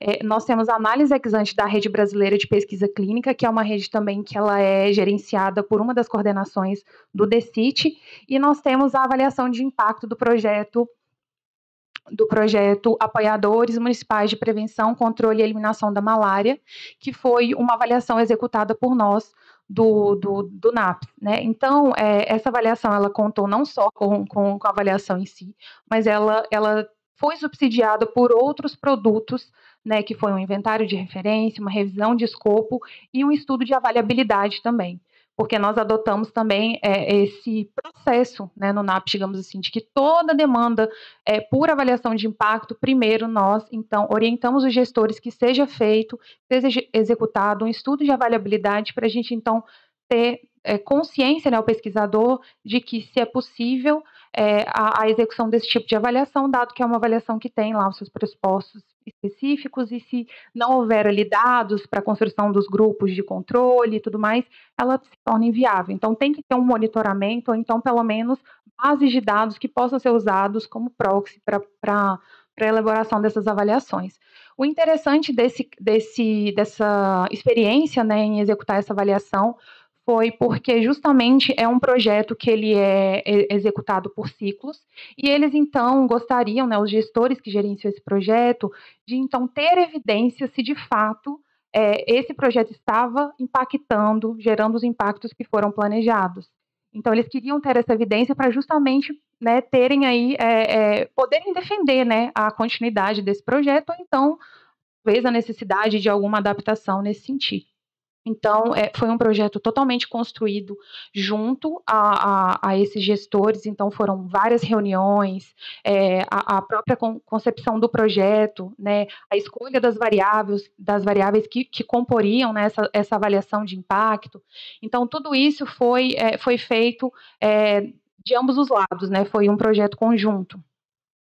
E, né, muito nessa perspectiva também de aproximar essa linguagem acadêmica e muitas vezes difícil é, da gestão, né, nós trabalhamos nessa perspectiva de gerar produtos de tradução do conhecimento. Então, essas duas últimas essas duas imagens aqui da, da, da, da, da direita é, são de uma cartilha que nós elaboramos para esses gestores, para que ele pudesse, então, por exemplo, é, olhar para a teoria da mudança dele de uma forma um pouco mais lúdica, olhar para os resultados dele também, ter uma compreensão mais, é, mais objetiva, né, mais facilitada. Então, esse também foi um produto que foi gerado no âmbito dessa avaliação. É, bom, nós também lançamos duas chamadas públicas, uma em 2022 e uma em 2023. A de 2022 também contemplou três avaliações executivas, essas estão em fase de finalização, elas vão ser entregues aos gestores no próximo mês.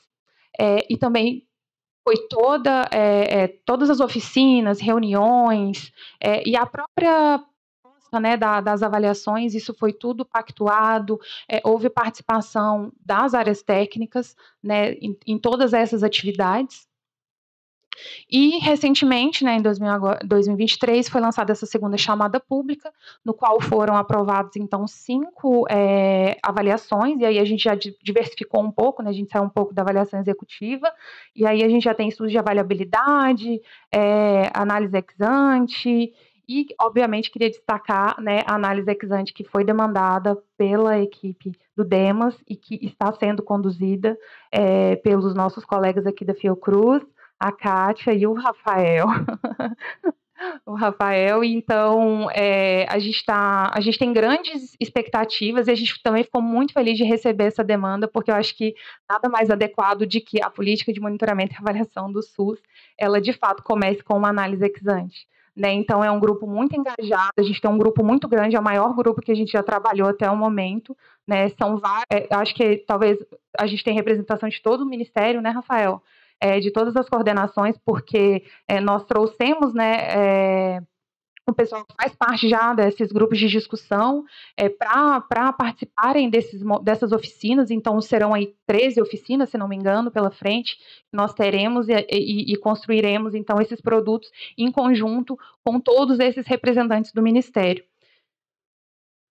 Bom, é, em relação ao, ao, Outro objetivo né, que o NAPS ele, ele, tenta alcançar é produzir e promover conhecimento sobre avaliação de políticas públicas. Então, a gente é, já promoveu também é, dois cursos, um de especialização em avaliação de impacto e um de mestrado, em avaliação de impacto, e nós também lançamos recentemente, no ano passado, um livro que é Avaliação de Impacto para Políticas Públicas, um, guia para o SUS, que é esse livro, esse livrinho de quase 800 páginas. Ele, ele tem vários capítulos, enfim, de todas as temáticas possíveis.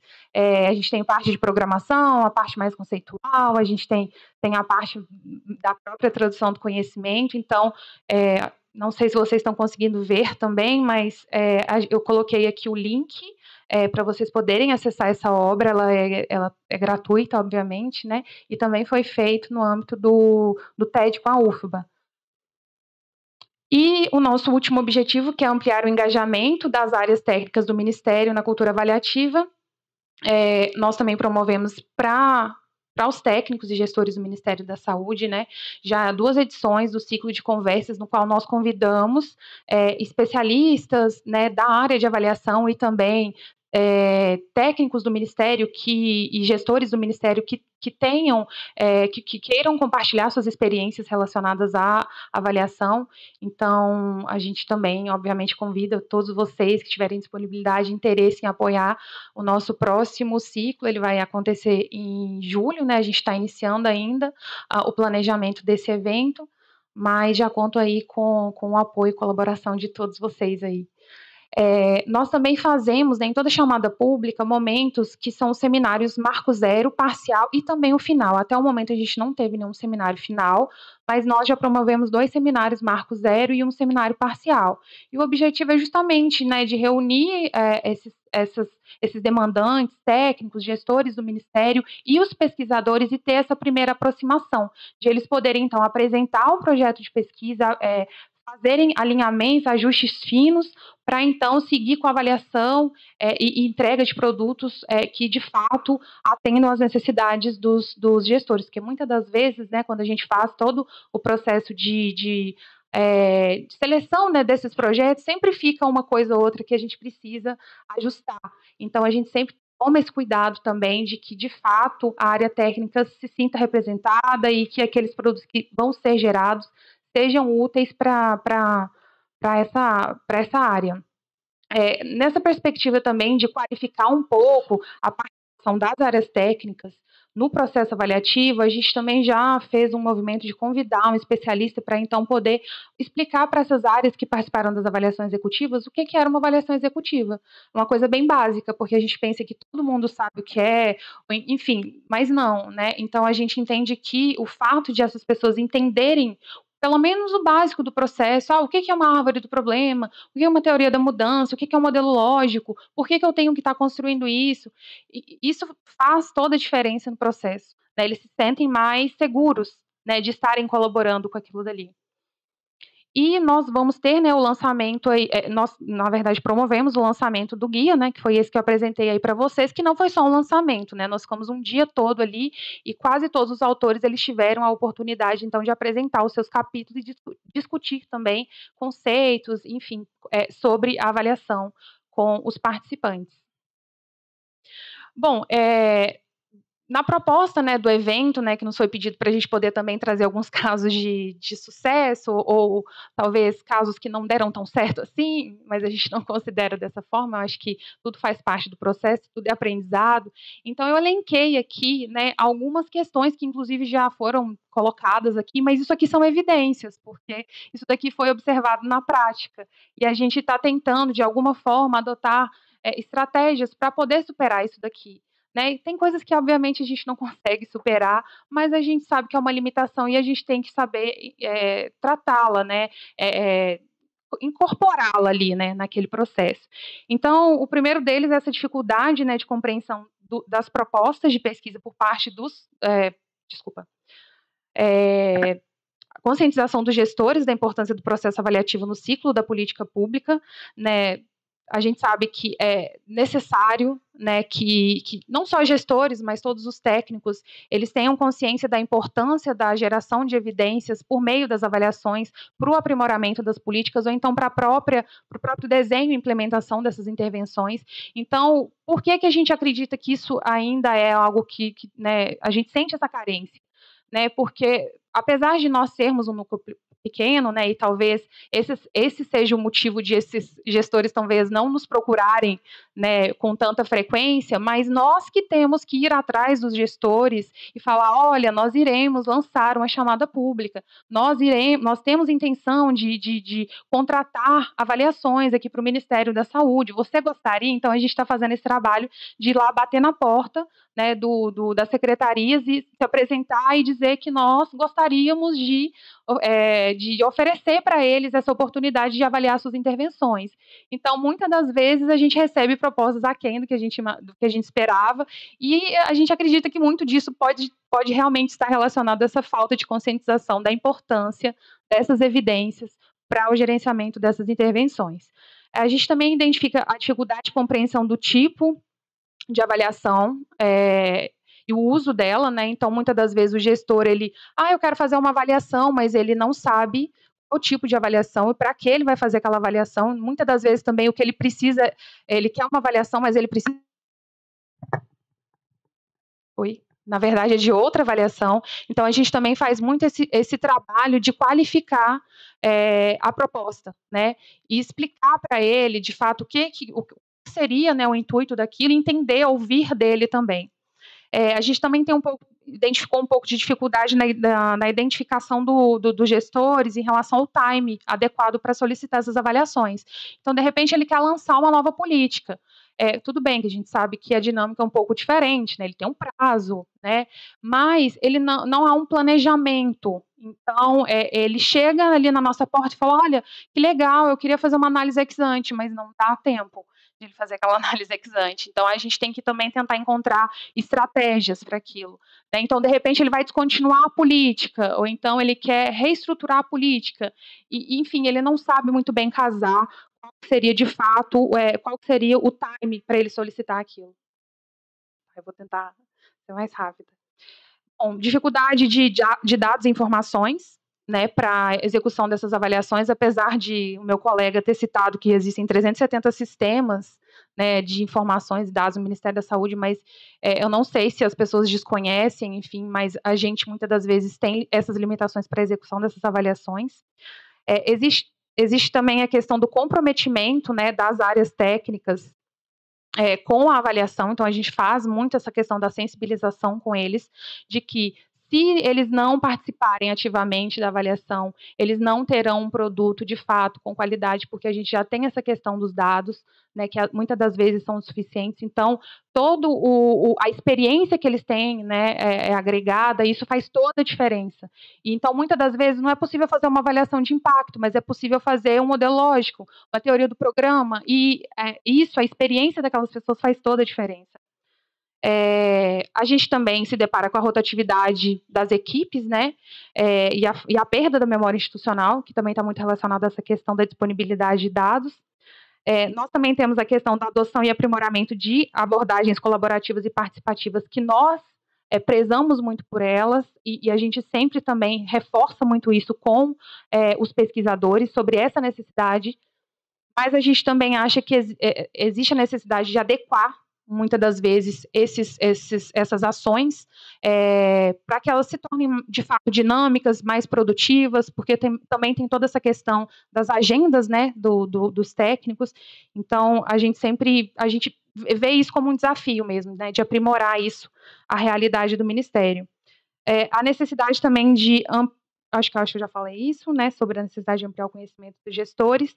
Uma coisa também que a gente identifica é que quando a gente lança um edital, né, o, os pesquisadores, eles têm um pouco de dificuldade de entender o que, que de fato a gente está demandando. Então, por mais que a gente seja extremamente explícito, olha, a gente precisa de uma avaliação é, de resultado dessa intervenção, e a gente quer que você utilize o guia da Casa Civil, que é o, né, é o material que a gente se baseia, ele, a gente recebe projetos assim que não fazem muito sentido. Então, acho que é, é um pouco também dessa questão da, da, da, da qualificação mesmo, né, do quantitativo de pessoas qualificadas em avaliação, principalmente em avaliação executiva, né, por exemplo, que foram os primeiros editais, enfim, e, e é, que a gente lançou, é, a gente teve essa dificuldade de encontrar profissionais qualificados e capacitados para executar esse tipo de avaliação. É, a conscientização também dos, dos pesquisadores em relação a, aos alinhamentos de conhecimento e expectativas com os, os, os técnicos do Ministério, né? Isso vai muito em relação à qualificação dos técnicos na compreensão de conceitos que não, não são triviais. A necessidade também de aproximar a academia da gestão, e isso a gente tem feito muito nessa perspectiva de construir esses produtos de tradução do conhecimento, né, para poder facilitar a, a, interpretação dos dados, né, a, a, apresentação desses dados e, obviamente, a utilização, que isso está diretamente relacionado. Se eles não entendem, eles não usam. É, a compreensão também dessa dinâmica diferenciada das pesquisas avaliativas, eu acho que isso também vai muito em relação à questão da própria participação dos técnicos nesse processo. Então, tanto por parte do pesquisador de abrir esses momentos para que os técnicos participem, mas também dos próprios técnicos de entenderem que eles necessitam de participar desses momentos. É, e bom, dado dessas todas essas ações que a gente já fez, né, a gente também deseja e é, precisa é, coletar informações sobre a usabilidade dessas pesquisas que estão sendo fomentadas né, dentro desse para a gente poder entender se de fato a gente também está alcançando o nosso objetivo, que é subsidiar a tomada de decisão. E a necessidade também né, de, de ampliar a interação entre as áreas tanto do Ministério da Saúde, né, porque foi mencionado aqui o mapeamento, né, pelo Flávio, de 20 áreas do Ministério da Saúde que fazem monitoramento e avaliação, então a gente também já teve essa iniciativa, tentou, né, identificar essas áreas, é, conversar com essas áreas, inclusive se depois se você puder nos disponibilizar esses dados, que a gente quer conhecer essas áreas, é, mas de fato, existe esse distanciamento, e eu acho que se a gente trabalhasse em conjunto, muitos desses desafios, talvez eles pudessem ser pensados coletivamente, e a gente poderia, talvez, já ter superado ou amenizado. E a institucionalização né, das políticas informadas por evidências, que acho que é o sonho de todo mundo. E eu queria só deixar aqui, é, mostrar para vocês só a, acho que não volta. É, era só o portfólio de produtos do NAPS para quem é gestor do Ministério da Saúde e gostaria de demandar então aí uma avaliação. É, estamos à disposição e em breve teremos outro edital, então façam aí as suas propostas. E eu queria agradecer a todos aí pela atenção. Muito bom, né? Esses desafios aí, né?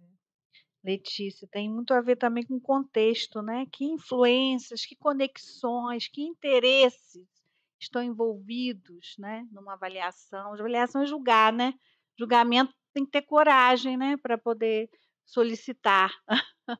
Porque às vezes você toma decisão com base nada disso. É porque você tem um, um interesse outro, não é? De algum compromisso legislativo até.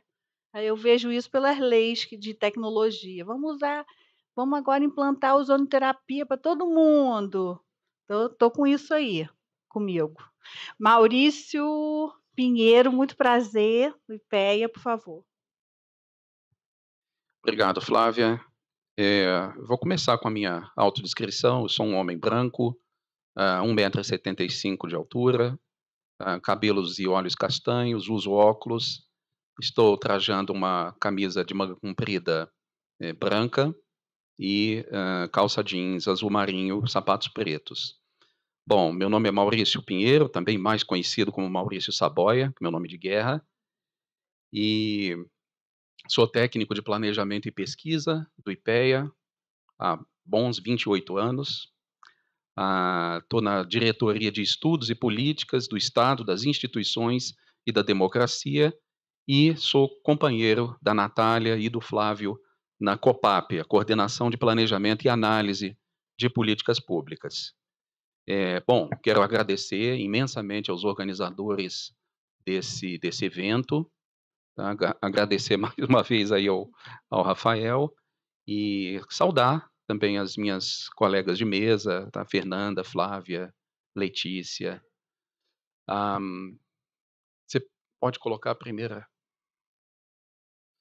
Bom, tá bem pequenininho ali, mas eu tenho a minha cola aqui também.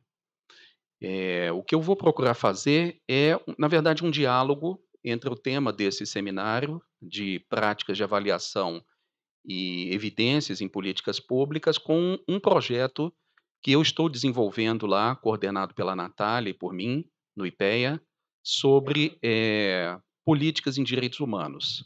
Então, eu vou trazer aqui um, na verdade, um, um caso bastante especial, talvez, né? foge muito do caso da saúde, uh, de outras áreas de políticas públicas que têm uh, maciçamente o uso de evidências científicas, mas eu acho que isso traz exatamente a riqueza da discussão da política informada por evidências. Tá? Então, eh, passando aí ao contexto, eh, queria só começar lembrando aqui uma coisa que já foi colocado pelos, pelas nossas colegas e colegas do, do, que me antecederam, que é a consolidação dessa cultura de evidências no Brasil, que já vem de algum tempo. Ah, no entanto, essa, essa consolidação dessa cultura de evidências, ela é bastante assimétrica entre os diferentes temas, diferentes eh, áreas, diferentes setores de políticas. Na verdade, essa assimetria, né, que se manifesta numa numa dinâmica bastante desigual de penetração das evidências, principalmente evidências científicas, ela pode ser analisada também sob vários prismas, não só entre áreas de política, mas também entre esferas de governo. Dentro do mesmo ministério, você pode ter, né, como existem trabalhos aí que já estão mostrando, é, é, áreas ou secretarias que usam mais evidência do que outras, uma, uma lógica mais internacional pode detectar também uma assimetria de uso de evidências entre países e assim por diante. É, um, uma coisa que, um conceito aqui que me interessa muito é o de cultura do uso de evidências. Um, eu estou chamando aqui de cultura do uso de evidências a, o compartilhamento de certos padrões, uh, uh, de certas é, como é que eu posso dizer, de certos padrões mesmo de julgamento acerca do que, que são evidências úteis para a tomada de decisão e também para a, a avaliação das políticas. Né? A ideia aqui é que essa noção de cultura ela dá uma, uma visão contextualizada acerca do padrão de uso de evidências em cada área, ok? Bom, eh, passando então à, à descrição do nosso projeto, eh, ele leva aí o título provisório, talvez, de Políticas de Direitos Humanos no Brasil, institucionalização do uso de evidências no Ministério dos Direitos Humanos e Cidadania. É, como a Natália, que me antecedeu, já tinha lembrado, esse projeto faz parte de uma reflexão maior que se tem lá no IPEA, desde 2019, se não me engano, sobre as políticas públicas baseadas em evidência, sobre as políticas informadas por evidência. Vários resultados interessantes já surgiram, principalmente ligados ao uso de evidências em diferentes setores de políticas públicas. Ah, ressalto aqui um livro que nós eh, editamos e lançamos em 2022, com 28 capítulos, sendo que praticamente cada um deles se refere a, um, a uma área de política. Mas existem algumas lacunas. Uma delas é uh, pegar alguns, algumas áreas emergentes, como direitos humanos. Uh, os objetivos básicos do projeto são avaliar o processo de institucionalização da política federal em direitos humanos no Ministério dos Direitos Humanos. Então, numa primeira fase, estamos circunscritos aqui ao MDHC.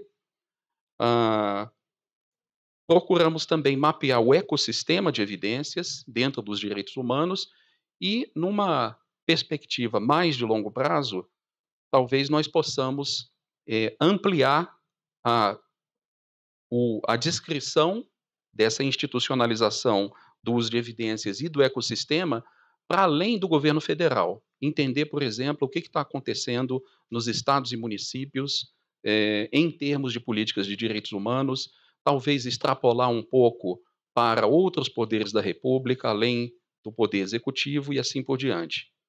Mas, por enquanto, no nosso horizonte inicial de um ano, dois anos, é, resolvemos começar pequeno e aí depois ir avançando. Alguns conceitos fundamentais, eu não vou me ater muito aqui, a institucionalização, né, que é, um, é uma preocupação de praticamente todos nós aqui, Uh, mas eu só queria lembrar que, em geral, institucionalizar uma política é você dar a ela um caráter permanente. É você conferir a essa política um caráter de política de Estado e não de política de governo. Uh, essa parte de direitos humanos ela é especialmente sensível às variações das descontinuidades administrativas do governo federal. Né? Tivemos aí a possibilidade de quase o total desmonte da área de direitos humanos. E então é muito importante aqui nessa área de direitos humanos essa questão da institucionalização se reveste de um caráter né, bastante importante. E a literatura já tem mostrado é, que a institucionalização ela pode ser lida nessas seis dimensões: a governança, padrões e processos rotineiros, parcerias e ações coletivas, liderança e comprometimento. A questão da liderança é especialmente importante nas fases iniciais do processo de institucionalização. Recursos, recursos de tempo, recursos humanos, recursos orçamentários e financeiros, e principalmente eu queria chamar a atenção aqui a questão da cultura. Né? Não se considera a, a institucionalização do uso de evidências numa área de política se essa se o uso de evidências não está assentado sobre as consciências das pessoas que trabalham, é? Ou seja, se não se introjetou de alguma forma uh, o uso de evidências no, nos hábitos cotidianos dessas pessoas. Tá? Então, uma outra razão pela qual o conceito de cultura de evidências é tão importante aqui é exatamente isso, é essa vinculação né, visceral entre cultura e institucionalização.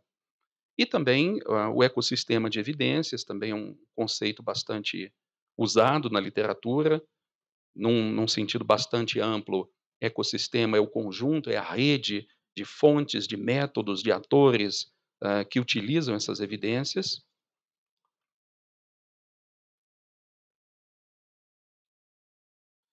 Bom, é, vou é, continuar aqui, ah, levantando aqui algumas características é, das especificidades da área de direitos humanos que eu considero importantes para ah, se pensar a cultura do uso de evidências nessa área. Bom, em primeiro lugar, é, é importante a gente olhar, quando a gente fala de uso de evidências, para a realidade sobre a qual a política ela está interferindo, ok? Então, é, temas diferentes de políticas, na verdade, têm uma ontologia por trás, né? tem uma realidade substancial é, a qual essa, essa, essa política atua. E a característica, na minha opinião, fundamental dos direitos humanos é que ela é o conjunto de três dimensões, né? uma dimensão humana, ah, e, e, aqui eu estou fazendo uma, uma diferenciação entre a dimensão humana e a dimensão natural. Então, vejam, por exemplo, que a área de saúde ela tem um pé, digamos assim, numa, em, em ciências naturais, tá? tem a ver com é, com a natureza, é, de alguma forma, que não tem a ver com as ações humanas é, voluntárias. É também uma dimensão valorativa, ou seja, axiológica. Os valores é, humanos estão intrinsecamente ligados à área de direitos humanos e também é, essa dimensão que eu juntei né, nesse trinômio ético-político-jurídica. Ou seja, você não tem como pensar, entender a área de direitos humanos sem essas três dimensões juntas. Isso tem uma, uma importância para o uso de evidências, né, na medida em que é, não se pode pensar muito a diferenciação, por exemplo, ah, muitas vezes se fala que ah, há que se separar o componente técnico das evidências do seu componente político. Aqui é um caso típico que não dá para fazer isso, tá? pela sua própria Constituição. Bom, uma, um conceito também muito importante para a gente é definir política de direitos humanos, uh, especialmente porque ela pode ser confundida com políticas sociais, políticas sociais transversais.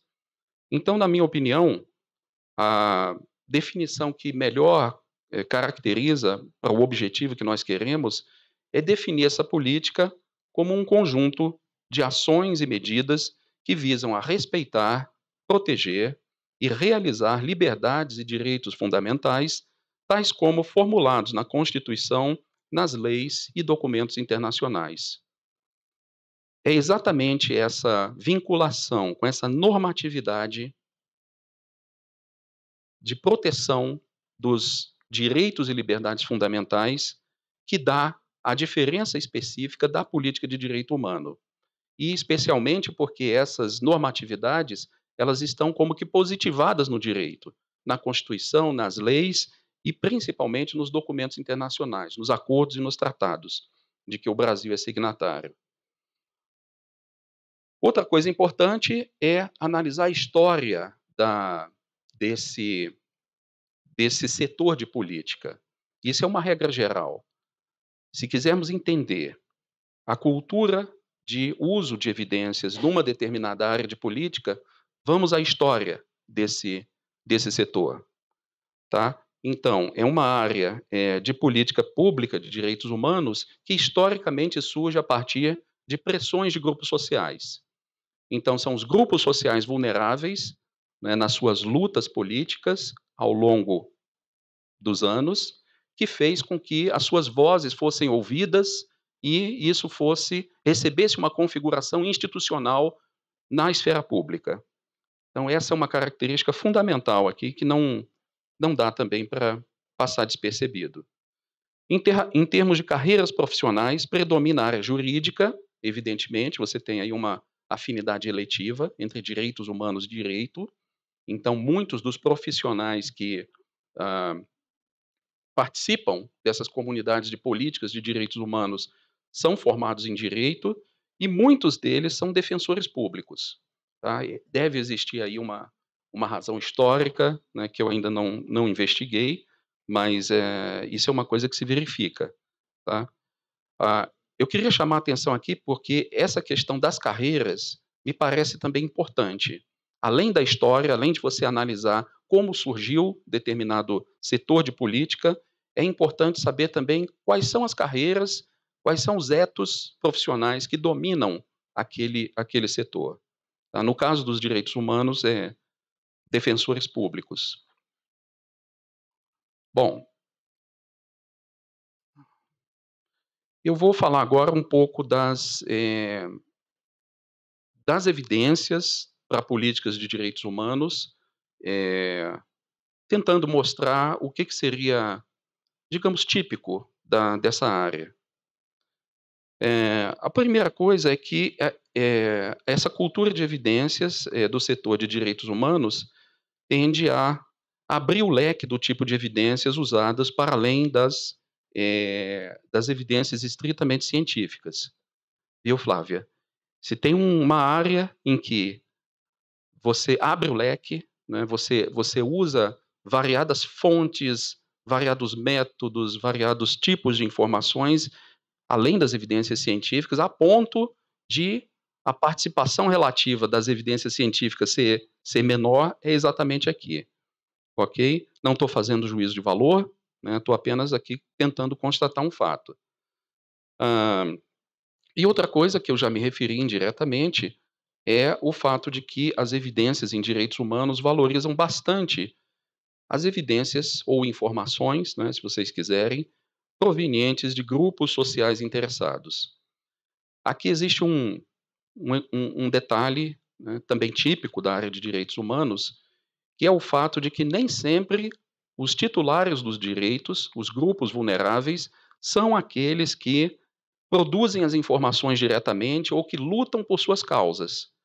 Existe o fenômeno aí do subempoderamento, ou seja, grupos que, pela sua situação de fragilidade, não conseguem se organizar a ponto de terem a sua voz ouvida na esfera pública. Então, o que, que acontece? Outros atores se encarregam de promover as causas desses grupos. Isso é muito comum. Então, quando se fala de advocacy, de organizações da sociedade civil que lutam por determinados pela causa de determinados grupos, né, não necessariamente os componentes são desses grupos vulneráveis. Ok? Existem outras peculiaridades também. Ah, por exemplo, existe o problema da invisibilidade, do preconceito. Pensa num grupo, por exemplo, como de é, doentes mentais ou deficientes mentais, me perdoem se não estiver usando aqui os termos corretos, mas são, são, são grupos que, pelo seu estigma social, né, pelo preconceito que incide sobre eles, eles acabam se invisibilizando. Até as próprias famílias, às vezes, têm vergonha né, de mostrar um membro que uh, tem essa característica. Então, também você precisa ir. Isso é um desafio para as evidências, não é? é visibilizar essas informações e torná-las é, elementos de decisão e de avaliação de política. Bom, é, então algumas fontes típicas também da, da área de direitos humanos são processos judiciais, isso não, é, não, não tenho visto em outras áreas, os processos judiciais, apesar da sua dificuldade de você extrair as informações úteis de lá, mas são fontes preciosíssimas de, é, é, de fontes de informação para as políticas de direitos humanos, processos, por exemplo, de violações de Direitos Humanos, informações de grupos de advocacy, né, relatórios sínteses de organizações da sociedade civil, né, como eu já mencionei, uh, e também relatórios de organismos internacionais. Uh, e eu destaco aqui o, os relatórios do Alto Comissariado das Nações Unidas para os Direitos Humanos.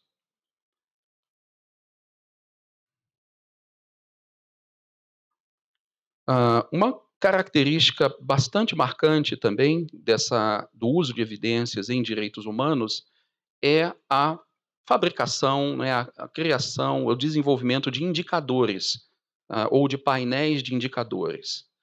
Então, ninguém é, busca é, um indicador sintético de direitos humanos, né, de realização de direitos humanos ou de, ou de esforço dos direitos humanos, porque é uma área naturalmente muito é, fragmentada, né, muito pulverizada, mas se fala muito de indicadores, de painéis de indicadores com diferentes áreas e, de, e principalmente diferentes públicos-alvos.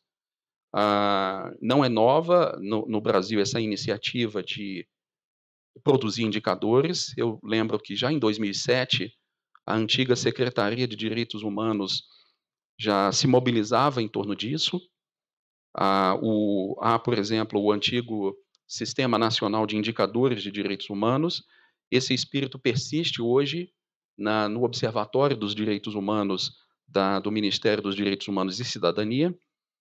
E uh, esses indicadores, eles, né, não, isso não é uma característica apenas da, dos direitos humanos, mas em direitos humanos, essa classificação de indicadores de estrutura, processo e resultado ela é bastante usada.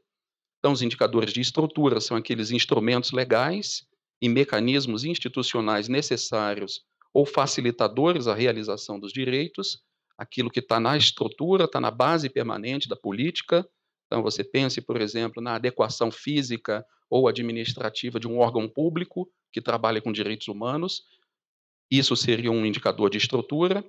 Indicadores de processo, que tem a ver com as ações que o, o Estado realiza para é, promover e realizar os direitos. Então, sei lá, digamos, número de ligações recebidas por canais de escuta do cidadão, diz que denúncia de direitos humanos, por exemplo. Né, seria uma espécie de indicador de processo. E os indicadores de resultado, que são os indicadores de impacto, aonde vai é, é, bater, não é? aonde vai, aonde vai afetar a, o bem-estar dos titulares dos direitos.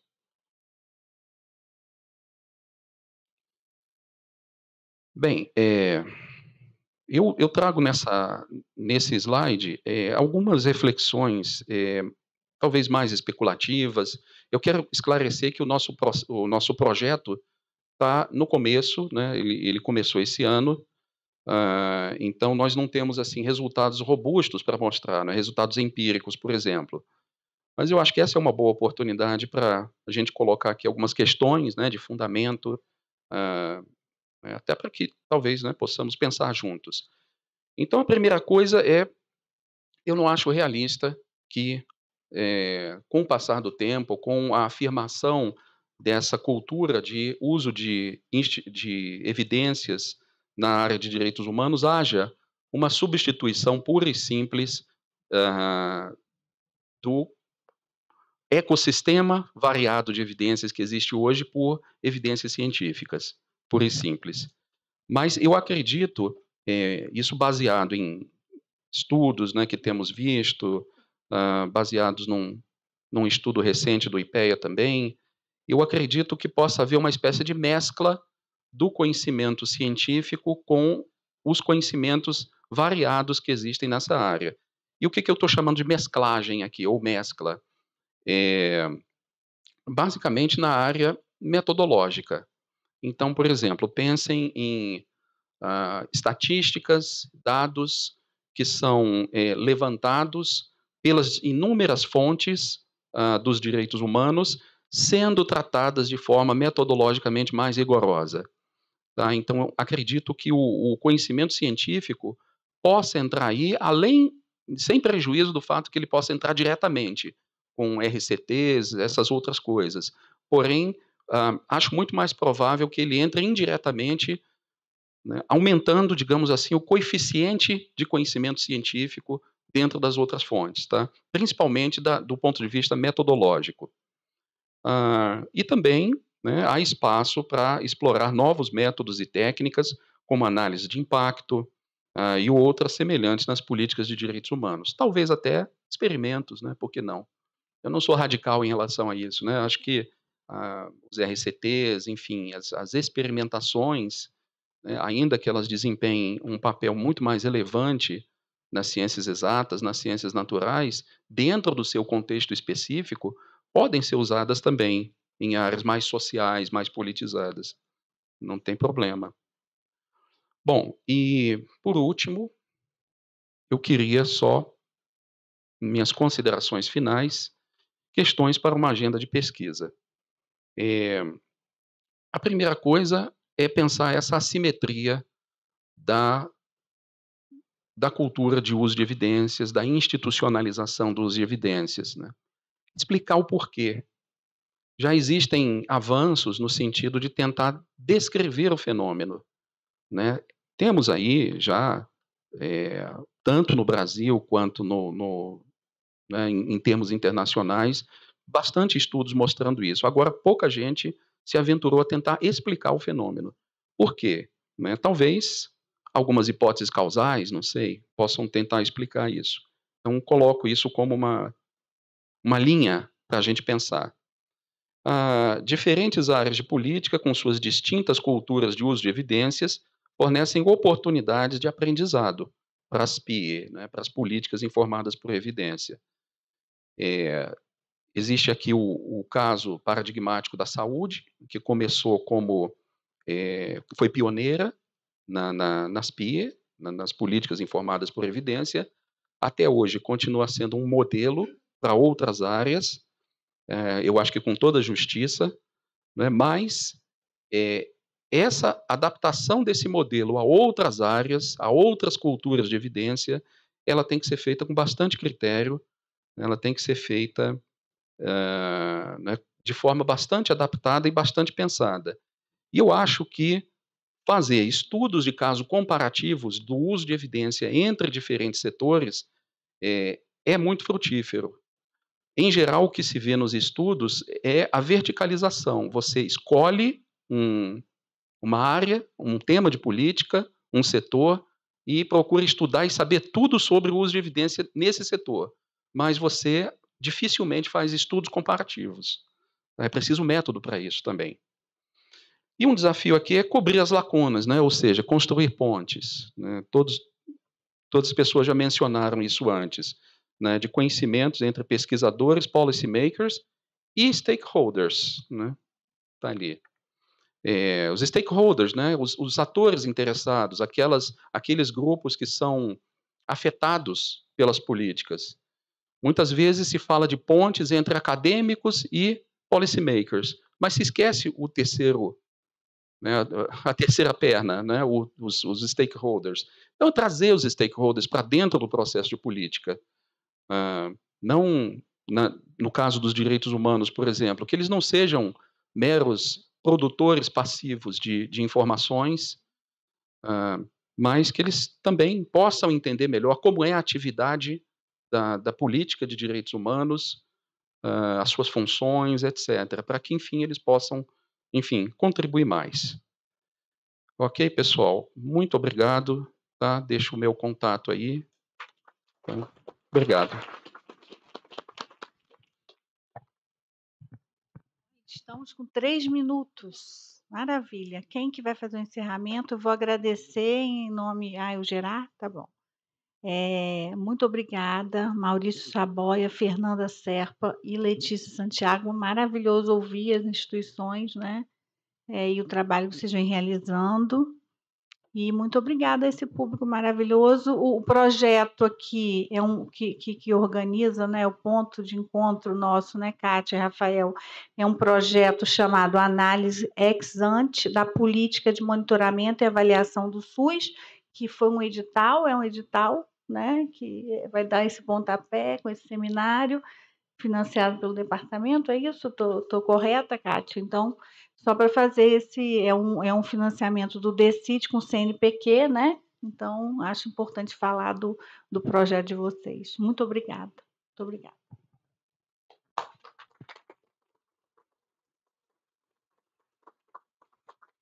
Agradecemos aos que nos acompanharam tanto presencialmente como virtualmente e desejamos a todos um ótimo final de dia.